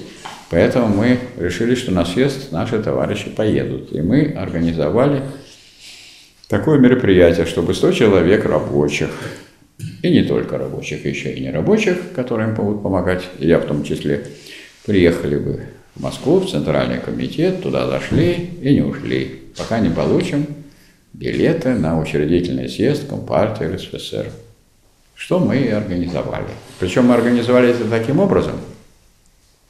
Отметить надо роль тут товарища Анпилова, который подготовил газету, мы подготовили программу партии КПСС, альтернативную Горбачевской, вполне коммунистическую, в которой в программе было написано «Изгнать из партии, проводящей антинародную политику, антикоммунистическую фракцию Горбачева» на первом листе.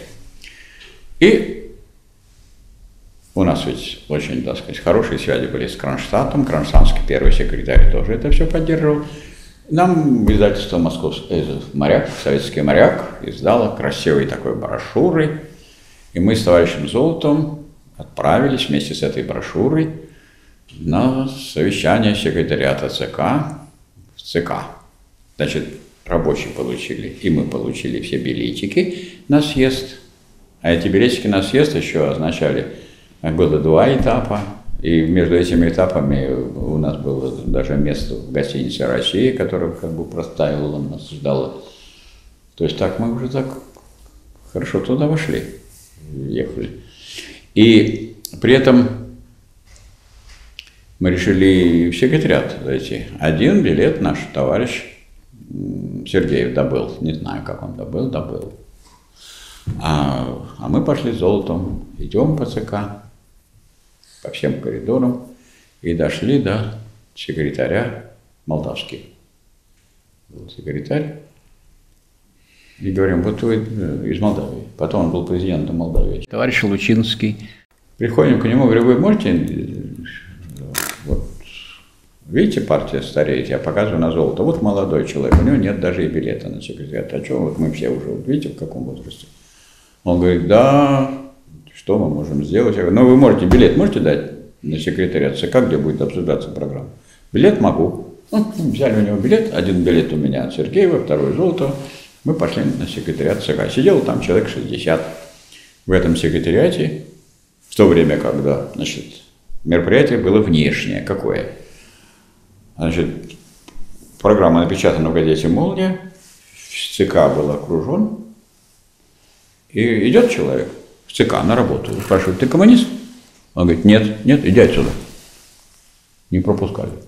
А если говорит, да, вот вам газета «Молния», если написано Игнатий Скарчий, проводящий антинародную политику, антикоммунистическую фракцию Горбачева, иди, пожалуйста, в ЦК.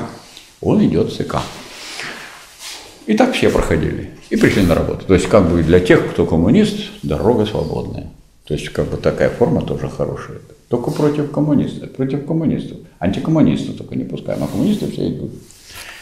А внутри мы пришли раньше, там раздали всем дали, человек 60 там было, ну, такой зальчик небольшой, все хорошо слышно, ну, раза, ну, он, он три, наверное, четыре, больше, чем вот это. Вот. Мягкие такие кресла, мы сели золотом на третий ряд, хорошо так, всем раздали, все читают.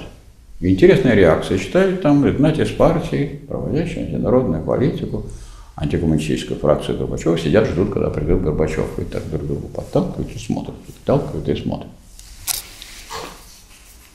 Потом идет Горбачев. Свеклу видели, такая красная физиономия, держит в руках газету «Молния». Дошли, говорит, пикеты, газеты, плакаты. Открывает и начинает читать. Из чего я понял, что он, кроме всего прочего, дурак в политическом отношении. Взять и читать. И вот, говорит, написано, изгнать из партии, проводящую антинародную политику, антикоммунистическую фракцию Горбачева. Поскольку все уже читали, здесь присутствующие, никого это не удивило и никакой эмоции это не вызвало. Он говорит, ну ладно, давайте перейдем. Надо обсуждать, нам съезд уже готовим. Ну, как будем называть э, тут, э, главный пост партии? Я говорю, как? Я сижу так и ворчу. Ну, как вы называть? Если сидеть, просто сидеть, то председатель президиума. Но если работать, то генеральный секретарь. Так злобно посмотрел. Оставляем генеральный секретарь. Ну, а сам орган как будет называться? Президиум или политбюро? Не, ну если политику, я тут сижу тоже на третьем ряду, если политику, вот так, в таком же расстоянии. Политику, если вести, то политбюро, а если просто вот сидеть, то, конечно, лучше президиум. Опять злобно посмотрел. Политбюро оставляем. КПРФ реализовал, у них председатель президиума и президиум ЦК. Ну что президиум? Ну, ну что, ну сидеть. Не сидят, а сидят. Да. И вот давайте, говорит, посоветуемся неформально. Кто хочет выступить? Я раз ему сразу записку. Ну, у нас же движение коммунистической инициативы. Он посмотрел так, Попов, Попов. Потом. И пошло обсуждение. Наши все выступают и как хвост и в гриву эту программу критикуют, его проект. Потом до меня дошло, я уже не хвост и в гриву, а фронтально, так сказать, с этим всего. Дали мне слово, ну и потом выступает там какой-то молодой, предлагает тоже, просит Золотов. Вот, а Горбачев говорит, да может молодой что-то скажет. А тот говорит, вот, за вами не пойдет молодежь там и так далее. И он также выступал на инициативном съезде, и все рассчитывали, что молодежь с ними, а молодежь оказалась против них. То есть Золотов выступил и тоже выступил против этой самого проекта, программы, который был. И вот один товарищ, Владимир Валерьянович, тут заведующий кафедрой истории КПСС Зульянова Ленина, выступил там в поддержку Горбачевской программы. И Горбачев тут же сказал, завтра он сделал его секретарем ЦК. И у нас стало из Ленинграда два секретаря ЦК. Один секретарь ЦК Гедаспов и второй секретарь ЦК вот это Владимир Валерьянович. Вот обстановка, в которой это все было. То есть обстановка полного вот это, разложения всего. Но с другой стороны, уже тут дыхание тут было не такое, что все так просто за Горбачева. Наоборот, уже силы сорганизовались. И началась подготовка этого самого учредительного съезда Компартии РСФСР. Готовил летом. Летом сидел там товарищ Долгов в Москве половину лета и готовил программу действий Компартии РСФСР в нашем духе. Вот в том духе, в котором мы приготовили нашу программу партии, Рабочей партии России. А второй половина говорит, слушай, давайте ты приезжай. И я сидел там. Впереди второй этап работы съезда. Главный документ, который будет обсуждаться, назван программой действий. В итоге, значит, к съезду мы приготовили программу, в которой никакого ревизионизма не было, которая была вполне коммунистической. А ничего другого нет. А все люди, которые там были, участвовали в обсуждении, с ними все время мы контактировали, спорили, мы их всех переспорили, у нас-то все это есть, и уровень, и подготовка. И в итоге, так сказать, получилось что то, что мы хотели. То есть собирается Компартия РСФСР не ревизионистская. И программа действий Компартии РСФСР, и они эту программу действий как-то так они ее как напечатали, в руках держали, а такого, чтобы утвердить, не сказали. И она так и осталась, как бы она, как бы и без программы, а с другой стороны у всех уже есть. Вот в таком положении. И избрали руководство. Долгов там был в течение двух часов кандидат в члены Политбюро. И как он сказал, что тут мне говорит, вы дайте такие-то документы. Да вы чего, говорю, я кандидат в члены Политбюро. Идите сюда, я вам дам документы. То есть избирали там, избрали э, Полоскова, который тем отличался, что он такой тормозок. Медленно, Кто победил в этом многодневном противоборстве, показали результаты выборов первого секретаря ЦК Компартии РСФСР. Им стал первый секретарь Краснодарского крайкома КПСС, председатель Краевого совета народных депутатов Полосков Иван Кузьмич. Значит, партия сделана, газеты нету, и мы стали требовать создания газеты. А кто такие мы? Значит, поскольку был съезд, а на съезде мы очень активно действовали. А как активно? Мы выдвигали свои кандидатуры, раз у нас пустили туда, ну, мы стояли. А как выдвинешь? Да? Слово не дают, а его берут. Вот мы встанем к микрофону, а нам не дает. Лукьянов вел, не дает. Думает, хорошо. Просидели, постояли час. Он говорит, перерыв. Думаю, час после перерыва дам другим. После перерыва он начинает, опять стоим, мы же те же, там же. Короче говоря, так мы предложили. И Золотову провели, и Сергееву провели, и сказать, Долгову провели в Центральный комитет, и Тюлькина в Центральный комитет провели. Компартия РСФСР.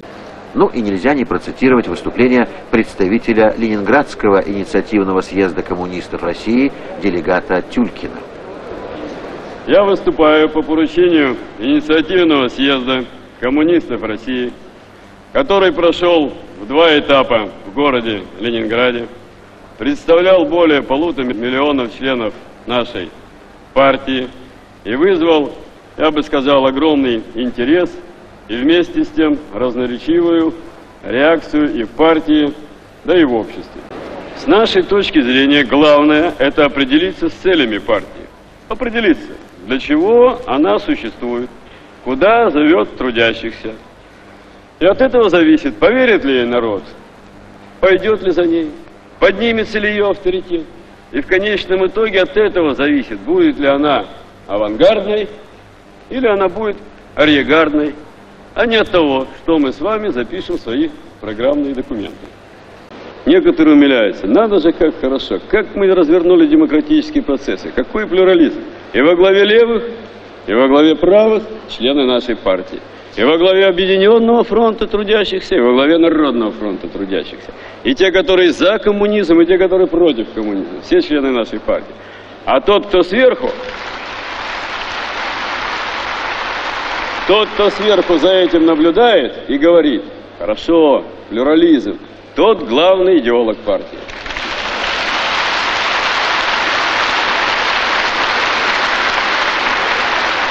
Единство – великое слово, но мы выступаем за единство марксистов, а не за единство марксистов с извратителями марксизма.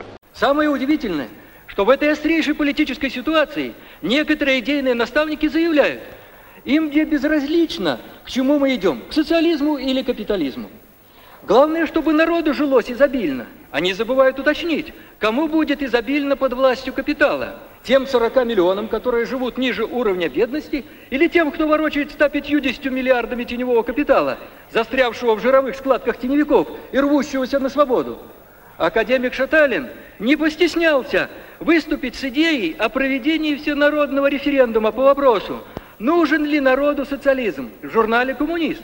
Ничего удивительного. У академиков на повестке новый социальный заказ, новая компания, рынок. Сторонники таких взглядов рассчитывают обратить Компартию России против перестройки, в которой видят только ревизию марксизма. Потом Сергеев стал членом ЦК КПСС, и он единственный человек на пленуме, он стал членом ЦК КПСС после 28-го съезда, и единственный, который выступил против приватизации. Вот тот человек, который от нас попал в Центральный комитет уже 20, после 28-го съезда. Пожалуйста, десятый микрофон. Десятый микрофон, Тюлькин, Ленинград. Михаил Сергеевич, я, конечно, понимаю ваши чувства, но из одного меня не стоит весь балкон обижать.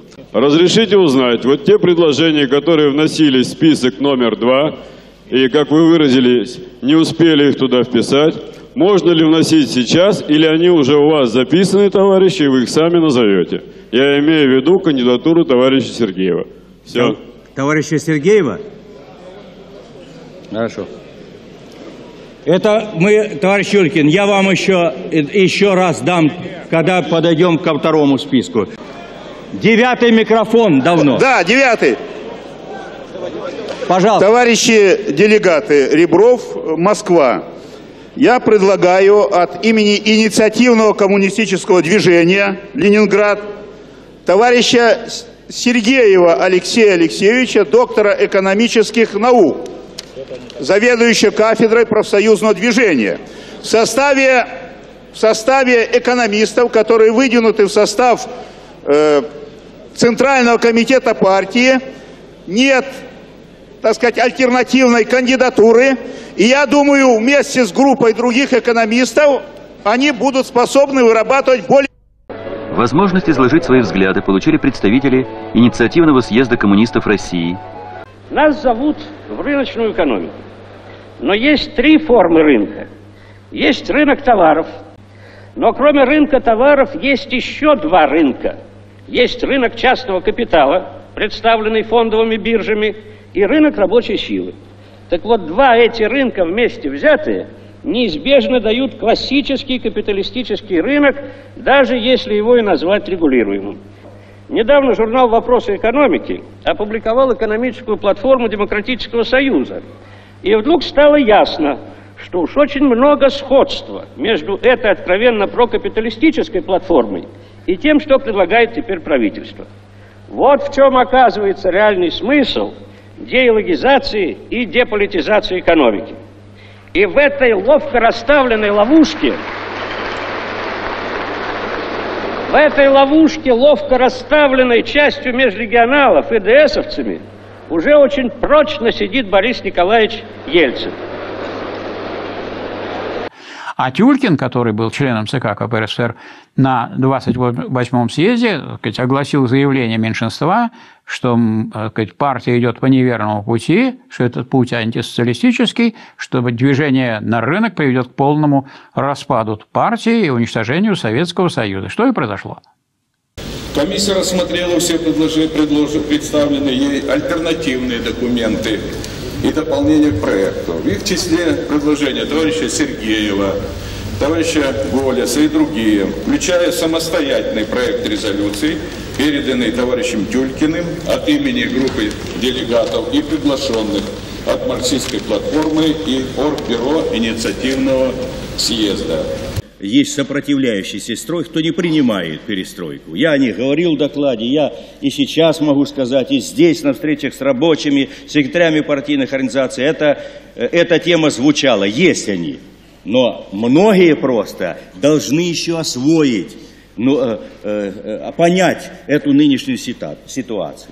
И в связи с этим, знаете, вот не, не скрою, что меня очень обеспокоило, когда съезд тремя четвертями голосов решил изменить название комиссии по экономической реформе, исключив из нее слово «рынок». Значит, сохраняется непонимание предложенного обществу крутого поворота на радикальное изменение, изменение ситуации в народном хозяйстве. Ну, а я как член оргкомитета по созданию Компартии в этом при этом при всем присутствовал.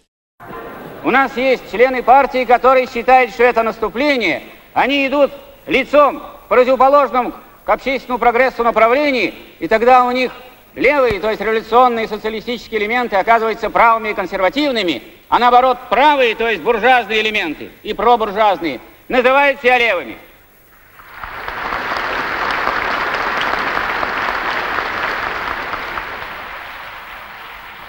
Второй теоретический вопрос – это вопрос о том, является ли перестройка революцией. Ну, нам уже сказали, что она является. Нам остается записать, и, как я понимаю, мы делали, вернее, некоторые делали застойные годы. Я к этому числу не принадлежу, не принадлежал и принадлежать не буду. Так вот, некоторые товарищи сразу повторяли и разъясняли в своих трудах, как разъясняли экономную экономику, развитой социализм и другие великие достижения – творцы которых сегодня расселись в президентском совете и в других высших учреждениях государства и партии. Давайте, товарищи, вспомним, что такое теоретически революция. Революция, насколько все здесь знают, и все это знают прекрасно, и я не собираюсь здесь никого учить, здесь грамотные люди. Революция – это переход от одной общественной экономической формации к другой со сменой у власти класса, причем непременно реакционного класса на прогрессивный. Это какой же у нас класс собирается прийти? Не теневики ли и не Непманы новоявленные? Это, это прогрессивный класс. Кто у нас собирается скупить фабрики и заводы? О ком пекутся те, кто говорит о приватизации сегодня? О рабочих? О крестьянах? Об интеллигенции? Может, о профессорах? Может, профессора могут у нас купить фабрики и заводы? Так вот, я думаю, товарищи, переход от одной формации к другой в теоретическом плане на пути вперед не просматривается. На пути назад просматривается, но это уже не революция, а контрреволюция. При этом при всем присутствую и докладываю вам, что когда избрали всех членов ЦК, и вот избрали, они так сидят, вот как мы сейчас с вами сидим, никто из них не является сказать, еще никем, в том смысле, что нет ни секретарей, ни членов политбюро. Я говорю, ну вот пока мы еще никого не избрали, давайте мы обсудим такой главный вопрос, как бы нам не разложиться, как КПСС. Вот Ленин предлагал максимум. Зарплату на уровне среднего рабочего, а все остальное в партийную кассу. Давайте проголосуем. Ну, как бы это ничего не означает, это еще не решение, а просто мнение. Давайте проголосуем. Проголосовали, меньшинство. Меньшинство? Меньшинство. Вот это на новенького, все хорошие, свежие, и программа действий. Угу. Вот мы это уже знаем. Вот вроде как Красный университет, всем объясняешь, что хочешь. Начинаются какие-то орг-вопросы. И тут выясняется, что некоторые-то совсем на других позициях стоят. А это они внимательно слушают. Давайте вы мне концерт, концерт рассказываете, все, я буду слушать. А когда нужно будет действовать, я скажу, вот я туда пойду. Все было уже понятно. Тогда мы поняли, что надо создавать газету и организовывать это дело. А газету не хотят. Зюганов был член политбюро по идеологии. Зюганов Геннадий Андреевич. Буду заниматься вопросами идеологической работы Российской Компартии. Тор, Тором тормозил создание газеты, и мы поставили на пленуме. Ну, я там присутствовал как гость, как все-таки член комитета. регулярно там был. А Долгов там и другие, там Тюлькин, Долгов, еще у нас там другие товарищи были из Москвы. А они поставили вопрос так. Долгов прошел с шапкой и собрал с 22 членов ЦК денежку, чтобы учредить газету. Тогда уже началось учреждение такое. Раз, иди и зарегистрируй. В чем проблема? Только КПРСФСР не может иметь газеты, а все остальные тут строят, газеты создают прямо на глазах. Ну вот, и поставил вопрос э, на этом, на пленуме, что либо вы знаете, сейчас утверждаете, либо мы, вот 22 члена ЦК, сдавшие деньги, делают газету 22 членов ЦК, а вы останетесь без газеты. И тут генерал Лебедь там с галерки, он тоже был член ЦК Компартии РСФСР. Как это, говорит, партия без газеты? Не может быть партии без газеты. И приняли решение газету. А поскольку приняли решение через силу, не хотели, то газету с изданием в Ленинграде, а не в Москве. Сегодня в Москве состоялся пленум ЦК Компартии РСФСР, рассмотревший организационные вопросы. В работе пленума приняли участие члены Центрального комитета и Центральной контрольной комиссии Компартии, избранные на учредительном съезде КП РСФСР, первые секретари обкомов, райкомов партий, представители партийной печати. А поскольку продвигал это дело Долгов, там мы продвигали другие, Долгова главным редактором. А главным редактором не хотят утверждать. Думаю, что делать? А нас поддерживал член ЦК КПСС, товарищ, который у нас секретарем был в Ленинграде по идеологии. И он говорит, да не надо это главного, напишите редактор-организатор, дескать, на время. Написали редактор-организатор, все это тогда утвердили, все хорошо. Ну, потом мы уже переделали его в главного редактора, да и все. И проехали. И появилась газета. 200 тысяч тираж, 8 полос, еженедельный выпуск.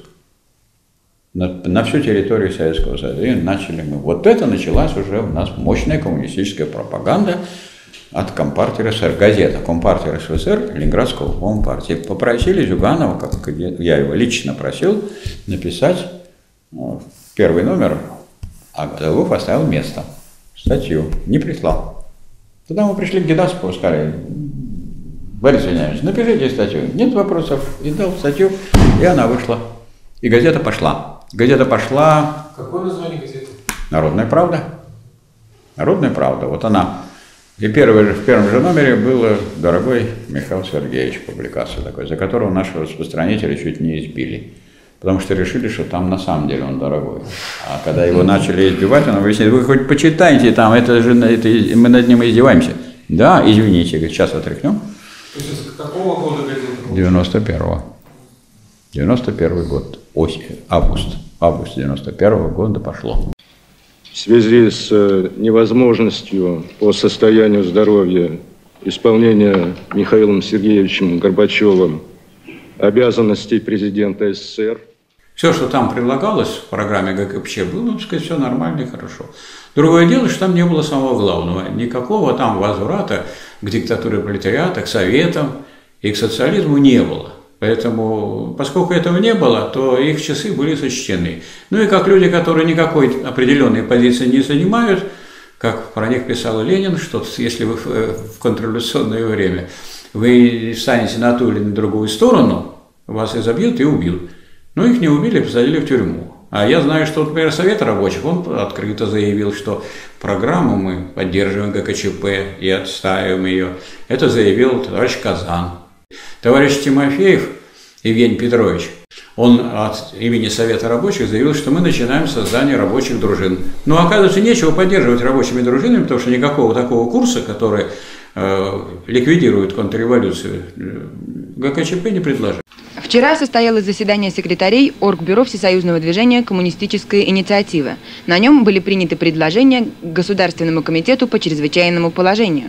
Оргбюро Всесоюзного движения «Коммунистической инициативы» столь сложный политический период считает, что Государственный комитет по чрезвычайному положению выполнит свои функции только тогда, когда чрезвычайный комитет станет Организационным комитетом по восстановлению подлинной власти трудящихся в нашей стране, закрепленной Конституцией СССР и во многом сегодня замененной парламентами, мэриями, префектурами.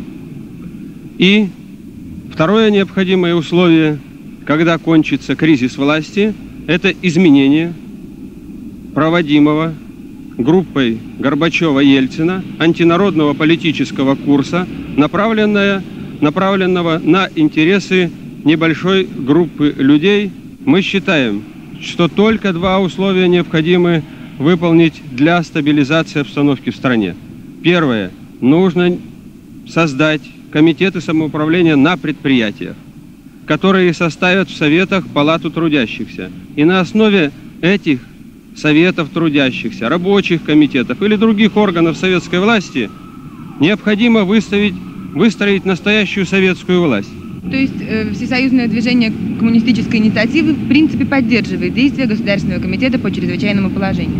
Мы поддерживаем меры, высказанные в обращении к советскому народу чрезвычайным комитетом. Предыдущий съезд движения состоялся в Москве в июне, и по словам председателя Оргбюро Половодова, Всесоюзное движение коммунистической инициативы поддерживают 4 миллиона коммунистов в 10 республиках, в том числе ленинградцы Тюлькин и Сергеев. Вот, а как вы знаете, «Искра» создавала партию, а «Народная правда» таким тиражом, ну, 200 тысяч еженедельно. Так, получили мы место в Смольном, нам денег прислали, но не все, потому что долго мы не просуществовали в таких условиях, потому что очень скоро в котором поддерживает указы президента РСФСР Ельцина действия правительства России по национализации полиграфической базы КПСС и РКП. Когда произошел переворот, у нас хотели и газету забрать, но это не получилось уже. Мы взяли ее и переучредили.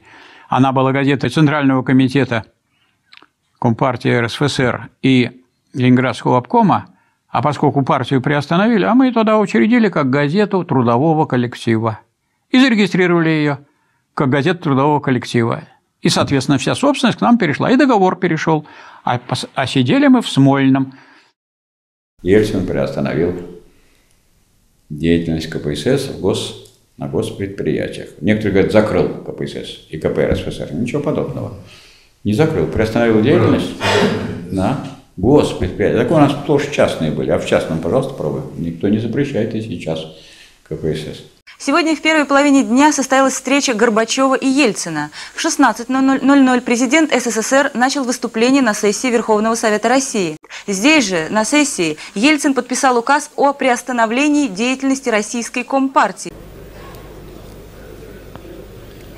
Товарищи, для разрядки разрешите подписать указ о приостановлении деятельности Российской Компартии. Не вся Компартия России участвовала, коммунисты России участвовали в заговоре, его поддерживали. Поэтому, поэтому, если установлено, что российский комитет, российский комитет и какие-то комитеты в областях солидаризировались с этим комитетом, то я бы такой указ поддержал.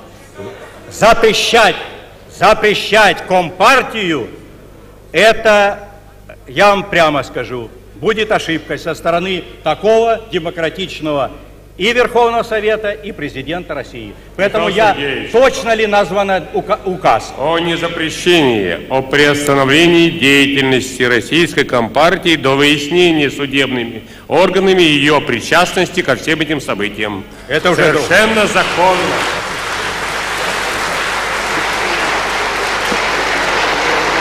Будьте, будьте Тем более кон- Российская Компартия Будь- до сих пор в Минюсте России не зарегистрирована. Будьте до конца демократами. До конца будьте. Все. И тогда с вами будут все. Подлинные демократы и здравомыслящие люди. Ну, как выяснилось, это не такие члены КПСС, как в войну, которые, когда пришли фашисты, они стали создавать подпольные обкомы. А тут они так портфельчики взяли и пошли в банки. Сразу прямо из важных э, кресел цыковских обкомовских и так далее. И поскольку я там, значит, вот в Ленинградских очень хорошо знал, я их все время встречал во, всех бизнес-местах. Потому что, а это, так сказать, те люди, которые, казалось бы, должны были защищать партию, коммунистические идеи, а это уже просто было их поприще для получения денег и благополучия своего семейного. Вот такая картина. Это вот предшествовало всем этим событиям. И с того времени, значит, товарищ Золотов организовал, чтобы нашу программу КПСС, проект, с тем же самым текстом «Изгнать из партии», проводящий антинародную политику, антикоммунистическую фракцию Горбачева, была напечатана в этом э, Нижегородском рабочем. Она напечатана большим тиражом, а меня Долгов отправил в путешествие по Волге летом. И я по Волге ехал и останавливался в каждом крупном городе и заключал договор. Распространение газеты, там столько-то, десятков тысяч. Вот на этот. И, а у меня с собой был багаж, программа, коммунистическая программа, которую мы подготовили, и она раздавалась. Потом я съездил еще и в Белоруссию, и там заключил договор с газетой «Мы время». И вот второй секретарь, когда мы не ушли тут из Смольного и из Дома политпросвещения при закрытии, а тот не ушел из э, своего кабинета, и когда там, как говорится, пришли контрольные, его так обтекли. Он не стал уходить. А что, с ним драться будешь? А боялись тогда сюда драться, как-то было тихо-мирно все. Тихо-мирно в том смысле, что не надо обвинять этих демократов и либералов, что они кого-то били. Не били они никого, сдали просто товарищи коммунисты, которые должны были выстоять на смерть, сдали, все отдали этим самым. Так же, как Белов, который э, находился в Смольном, когда пришла э, мадам Салье забирать Смольный, он ей открыл, а мог бы не открывать. Еще одно событие из хроники сегодняшнего дня. Впервые Смольный штаб революции нам приходится снимать через решетку. 24 августа 1991 года он был опечатан. А вот мы были в доме политпросвещения, туда приходит, а там три комнаты. В одной сидит товарищ Овчинников, другой товарищ Тимофеев, а третий – это наш центр распространения 217 Приходит милиция, а что у вас тут непорядок? Нет, у нас полный порядок, вот дежурный, вот повязки. А это как это, насчет помещения? А это, говорит, мы решаем, потому что это на партийные деньги все создано, ДПП. Смольный-то нет. А вот ДПП это на партийные деньги мы решаем вот с этим, с советом, Ленсоветом. И пока мы не решим, тут все хорошо. И все. Ну, хорошо, говорит, у вас порядок, и все, я отстала. Полтора месяца висел красный флаг над ДПП. Вот товарищ Казенов лично там был на крыше, лично и участвовал в его поднятии. Как они только уберут этот флаг, новый появляется, опять уберут, опять. Залезали люди, вешали. И уже смольный это занят, знаете, все висит и висит, висит и висит. И я тут парикмахером разговаривал. Говорит, какой красивый флаг. Военно-морской потом повесили там. Хороший такой. В общем, был такой начальник милиции Куть, который все воевал, воевал, воевал, воевал. А так потом и умер а, а мы не умерли. А они все-таки взяли и спилили сам флагшток, потому что иначе залезали людей. Когда флагшток смелили, ну, это...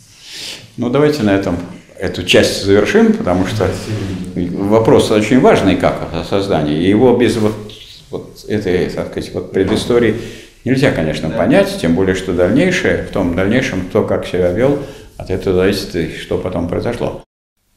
Сегодня в Москве прошла демонстрация в честь годовщины революции 17 года. Ее организовали Объединенный фронт трудящихся движения «Единство за ленинизм и коммунистические идеалы», молодежная организация коммунистической инициативы и Союз рабочих Москвы. Хватит обманывать людей! Лже-коммунисты – это были коммунисты на словах, такие как Горбачевы, Ельцины, Поповы, Собчаки, и капиталисты на деле – мы сегодня видим, кому они отдают власть. Мы сегодня видим, кто такие мэры и субпрефекты. Мы сегодня видим, как они подняли экономику до того, что в Москве 2-3 часа народ выстаивает за хлебом. И сегодня снова лозунг «Хлеб народу», фабрики и заводы рабочим, земля должна быть у трудового крестьянства. Сегодня нужно повторить социалистическую Октябрьскую революцию. И чем быстрее, тем лучше. От имени Совета рабочих фабрики «Скороход» Мы поздравляем вас с великой годовщиной Октябрьской социалистической революции. Мы твердо знаем, что дело октября непобедимо.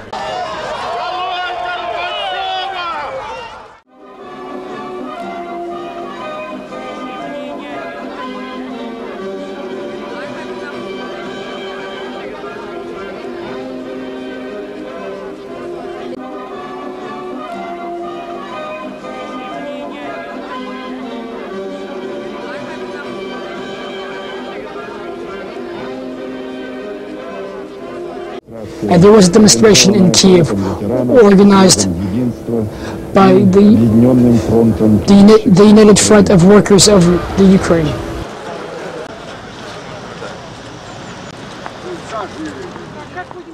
Normal citizens, not by the leadership of the nation. There were people protesting against the restoration of capitalism in Russia. Подчеркивалась приверженность коммунистической. Демонстрантов насчитывалось около 40 тысяч. Манифестация, начавшаяся с Октябрьской площади, закончилась возложением цветов у мавзолея и выступлением ораторов, которые требовали отставки Горбачева и Ельцина и передачи власти рабочим советам.